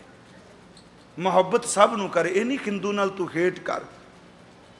ਈਵਨ ਕਿ ਜਦੋਂ ਇੱਕ ਨਾਲ ਜੁੜ ਜਾਾਂਗੇ, ਫਿਰ ਹਰ ਥਾਂ ਤੇ ਉਹਦੀ ਝਲਕ ਮਿਲੇਗੀ। ਮੈਂ ਅਰਜ਼ ਕੀਤੀ ਕਿਨਾਰੇ ਤੇ ਬੇੜੀਆਂ ਬੜੀਆਂ ਹੁੰਦੀਆਂ ਨੇ, ਪਰ ਜਿਸ ਬੇੜੀ ਤੇ ਬਈਏ ਮਲਾ, ਉਸੇ ਤੇ ਭਰੋਸਾ ਕਰਨਾ ਚਾਹੀਦਾ। ਮੈਂ ਬੈਠਾ ਐਸ ਬੇੜੀ 'ਚ ਤੇ ਮਲਾ ਦੂਜੇ ਤੇ ਭਰੋਸਾ ਕਰੀ ਜਾ? ਜੇ ਗੁਰਦੁਆਰੇ ਆਇਆ ਤੇ ਗੁਰੂ ਗ੍ਰੰਥ ਸਾਹਿਬ ਮਲਾ ਤੇ ਭਰੋਸਾ ਕਰ। ਇਹ ਤੇ ਯਕੀਨ ਕਰ, ਇਹ ਸਾਨੂੰ ਇੱਕ ਦੀ ਪੂਜਾ, ਇੱਕ ਦੇ ਸਿਮਰਨ, ਇੱਕ ਦੇ ਨਾਮ ਨਾਲ ਜੋੜਦੇ ਨੇ ਤੇ ਇੱਕ ਦੀ ਜ਼ਿੰਦਗੀ ਵਿੱਚ ਕੀ ਸੁੱਖ ਹੈ? ਦੋ ਦੀ ਥਾਂ ਤੇ ਦਵੈਸ਼ ਆ ਜਾਂਦੀ ਹੈ। ਸਤਿਗੁਰੂ ਕਿਰਪਾ ਕਰੇ, ਇੰਨੀਆਂ ਕੋ ਬੇਨਤੀਆਂ ਸਵੀਕਾਰ ਕਰਿਓ। ਵਕਤ ਪੂਰਾ ਇੱਕ ਘੰਟਾ ਹੋ ਚੁੱਕਾ ਹੈ। ਪੈ ਮਾਈ, ਭਾਈ ਮਤੀ ਦਾ ਸੇਵਕ ਜਥਾ। ਬਾਬਾ ਫੁੰਮਨ ਸਿੰਘ ਜੀ, ਸਮੂਹ ਸੰਗਤ ਦਾ, ਬੀਬੀ ਜੀ ਦਾ ਧੰਨਵਾਦ। ਉਹ ਨਾਂ ਤਾਂ ਲੈਂਦੇ ਰਹੇ, ਮੈਂ ਬੜੀ ਵਾਰੀ ਆਇਆ, ਮੈਨੂੰ ਪਛਾਣ ਕੋ ਨਹੀਂ ਜੀ। ਉਹ ਜਿੱਤੇ ਵੀ ਉਹਨਾਂ ਦਾ ਧੰਨਵਾਦ ਜੀ, ਉਹਨਾਂ ਦਾ ਵੀ। ਹਾਂਜੀ, ਸ਼ੁਕਰੀਆ ਉਹਨਾਂ ਦਾ ਵੀ। ਹਾਂ ਭੈਣ ਜੀ ਜਗਜੀਤ ਕੌਰ, ਤੁਸੀਂ ਪਰਉਪਕਾਰ ਦੇ ਕੰਮ ਕਰਦੇ ਹੋ। ਪਰ ਮੈਂ ਇੱਕੋ ਬੇਨਤੀ ਕਰਾਂਗਾ, ਪਰਉਪਕਾਰ ਕਰਕੇ ਲੇਖੇ ਗੁਰੂ ਨਾਨਕ ਸਾਹਿਬ ਦੀ ਬਾਣਾ ਹੈ। ਅਸੀਂ ਨਹੀਂ ਕੀਤਾ, ਇਹ ਗੁਰੂ ਨਾਨਕ ਸਾਹਿਬ ਦੀ ਸਿੱਖੀ ਹੈ। ਇਹਨੀਆਂ ਕੋ ਬੇਨਤੀਆਂ ਸਵੀਕਾਰ ਕਰਿਓ। ਮੇਰੇ ਤੋਂ ਬੋਲਦਿਆਂ ਬੇਅੰਤ ਭੁੱਲਾਂ ਹੋਈਆਂ ਨੇ, ਬੜੇ ਪਿਆਰੇ ਕੀਰਤਨੀਏ ਗੁਰੂ ਰਾਮਦਾਸ ਦੇ ਦਰ ਤੋਂ ਨਿਵਾਜੇ। ਭਾਈ ਸਾਹਿਬ, ਭਾਈ ਰਾਏ ਸਿੰਘ ਮੈਨੂੰ ਯਾਦ ਹੈ ਬੜਾ ਸਮਾਂ ਪਹਿਲਾਂ ਅਸੀਂ ਨਿਊਯਾਰਕ ਗਏ। ਇਹਨਾਂ ਕੀਰਤਨ ਕੀਤਾ। ਮੈਨੂੰ ਇੰਨਾ ਚੰਗਾ ਲੱਗਾ। ਮੈਂ ਕਿਹਾ, ਮੇਰਾ ਦਿਲ ਕਰਦਾ ਤੁਸੀਂ ਕਿਤੇ ਹਰਮੰਦਰ ਸਾਹਿਬ ਆ ਜਾਓ। ਉਹ ਗੁਰੂ ਰਾਮਦਾਸ ਨੇ ਤਰਸ ਕੀਤਾ, ਸੇਵਾ ਲਈ। ਮੈਨੂੰ ਖੁਸ਼ੀ ਹੁੰਦੀ ਜਦੋਂ ਭਾਈ ਸਾਹਿਬ ਕੀਰਤਨ ਕਰਦੇ ਨੇ, ਕਿਉਂਕਿ ਸ਼ਬਦ ਬੜੇ ਨਵੇਂ ਪੜ੍ਹਦੇ ਆ। ਤੇ ਯਾਦ ਰੱਖਿਓ, ਤੁਹਾਡਾ ਬੜਾ ਕਸੂਰ ਜੇ ਸੰਗਤ ਦਾ। ਰਾਗੀਆਂ ਦੇ ਸ਼ਬਦਾਂ ਅਭਿਆਸ ਨੂੰ ਤੁਸੀਂ ਰੁਕਾਵਟ ਲਾਈਏ। ਭਾਈ ਸਾਹਿਬ, ਇਸ ਤਰ੍ਹਾਂ ਹੀ ਹੈ ਨਾ ਜੀ? ਉਹ ਚਿੱਟ ਲੈ ਜਿਹੜਾ ਕੈਸ਼ ਤੋਂ ਸ਼ਬਦ ਸੁਣਿਆ ਭਾਈ ਸਾਹਿਬ ਜੀ ਸੁਣਾਓ, ਉਹ 6000 ਗੁਰੂ ਗ੍ਰੰਥ ਸਾਹਿਬ ਦਾ ਸ਼ਬਦ ਹੈ, ਅੱਗਾਂ ਵੀ ਆਪਾਂ ਚੱਲੀਏ ਸਪਾਰਸ਼ਾਂ ਨਹੀਂ ਹੁੰਦੀਆਂ, ਕੋਈ ਗਾਣੇ ਨਹੀਂ। ਸ਼ਬਦ ਮੈਂ ਬੇਨਤੀ ਕਰਾਂਗਾ, ਜਿੰਨੇ ਕੀਰਤਨੀਏ ਸਿੰਘ, ਹੁਣ ਤਾਂ ਚਲੋ ਸਿੰਘ ਸਾਹਿਬਾਂ ਨੇ ਕਹਿ ਵੀ ਦਿੱਤਾ ਵੀ ਪੜਨਾ ਨਹੀਂ ਉਤੋਂ ਫੋਨ ਤੋਂ ਵੇਖ ਕੇ। ਸਿਰਫ ਦਰਬਾਰ ਸਾਹਿਬ ਦੇ ਕੀਰਤਨੀਏ ਮਿਲਣਗੇ, ਜਿਹੜੇ ਜ਼ਬਾਨੀ ਸ਼ਬਦ ਪੜ੍ਹਦੇ ਹੋਣਗੇ, ਮੈਨੂੰ ਬਖਸ਼ ਦਿਓ। ਬਾਕੀ ਸਾਰੇ ਦੇ ਸਾਰੇ ਫੋਨ ਰੱਖ ਕੇ ਬੈਠੇ ਆ। ਤੇ ਕਮਾਲ ਦੀ ਗੱਲ, ਇੱਕ ਸ਼ਬਦ 6 ਮਹੀਨਿਆਂ ਵਿੱਚ 100 ਵਾਰੀ ਪੜਿਆ ਜਾਂਦਾ, ਚੇਤੇ ਫਿਰ ਵੀ ਨਹੀਂ ਕਰਦੇ ਪਏ। ਕਈ ਇਸ ਗੱਲ ਦਾ ਗੁੱਸਾ ਬੜਾ ਕਰ ਗਏ। ਨਹੀਂ ਨਹੀਂ ਪਿਆਰਿਓ, ਸ਼ਬਦ ਜ਼ਬਾਨੀ ਕੰਟ ਕਰੋ, ਅਸੀਂ ਕਹਿੰਦੇ ਹਾਂ ਹੁੰਦਾ ਨਹੀਂ। ਮੈਂ ਇੱਕ ਤੁਹਾਨੂੰ ਉਦਾਹਰਨ ਦੇਣਾ ਮਹਾਨ ਕੋਸ਼ ਪੜਿਓ ਇਨਸਾਈਕਲੋਪੀਡੀਆ ਆਫ ਸਿੱਖੀਜ਼ਮ ਭਾਈ ਕਾਨ ਸਿੰਘ ਨਾਭਾ ਜੀ ਦਾ। ਗੁਰਬਾਣੀ ਫਿਜ਼ਿਕਸ ਦੇ ਸੂਤਰ ਨਹੀਂ। ਇਹ ਮੈਥ ਦਾ ਸਵਾਲ ਨਹੀਂ ਕਿ ਰੱਟਾ ਮਾਰਨਾ ਪਏਗਾ। ਗੁਰਬਾਣੀ ਵਿੱਚ ਤਾਂ ਗੁਰੂ ਵਰਤਦਾ ਹੈ। ਇੱਕ ਵਾਰ ਸਤਿਗੁਰ ਮੰਤਰ ਸਿਮਰਨ ਮਾਤਰ, ਸਿਮਰਨ ਤਾਹੇ ਬਾਰੰਗ ਬਾਰ ਗੁਰ ਹੈ ਇਹਦਾ ਅਰਥ ਕੀ?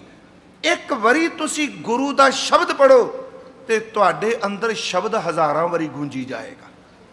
ਕਿਉਂਕਿ ਸ਼ਬਦ ਆਪਣਾ ਕੰਮ ਕਰਦਾ ਹੈ।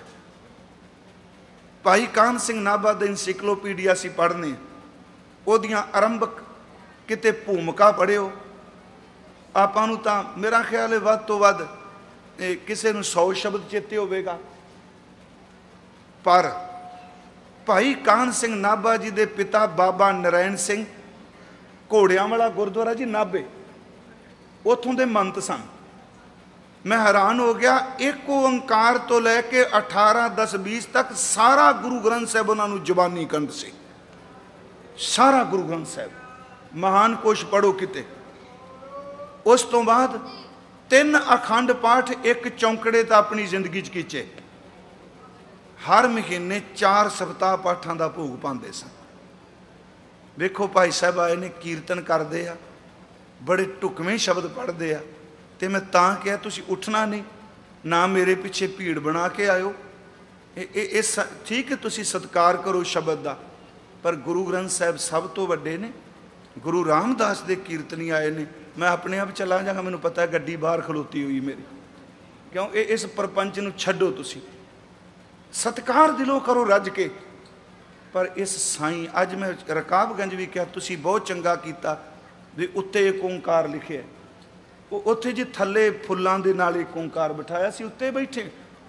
ਇਹ ਪੱਕਾ ਫੈਸਲਾ ਕਰ ਲਓ, ਕਿਤੇ ਵੀ ਜਾਓ, ਕਿਸੇ ਸਟੇਜ ਦੇ ਥੱਲੇ ਸ਼ਬਦ ਨਹੀਂ ਲਿਖਣਾ। ਭਾਵੇਂ ਉਹ ਫੁੱਲਾਂ ਨਾਲ ਲਿਖਿਆ ਹੋਵੇ, ਭਾਵੇਂ ਉਹ ਕਿਸੇ ਮੈਟਲ ਨਾਲ ਲਿਖਿਆ ਹੋਵੇ, ਸ਼ਬਦ ਸ਼ਬਦ ਹੀ ਹੁੰਦਾ ਹੈ। ਸ਼ਬਦ ਦੀ ਮਹਾਨਤਾ ਉੱਚੀ ਹੋਣੀ ਚਾਹੀਦੀ ਹੈ। ਵਾਹਿਗੁਰੂ ਜੀ ਕਾ ਖਾਲਸਾ, ਵਾਹਿਗੁਰੂ ਜੀ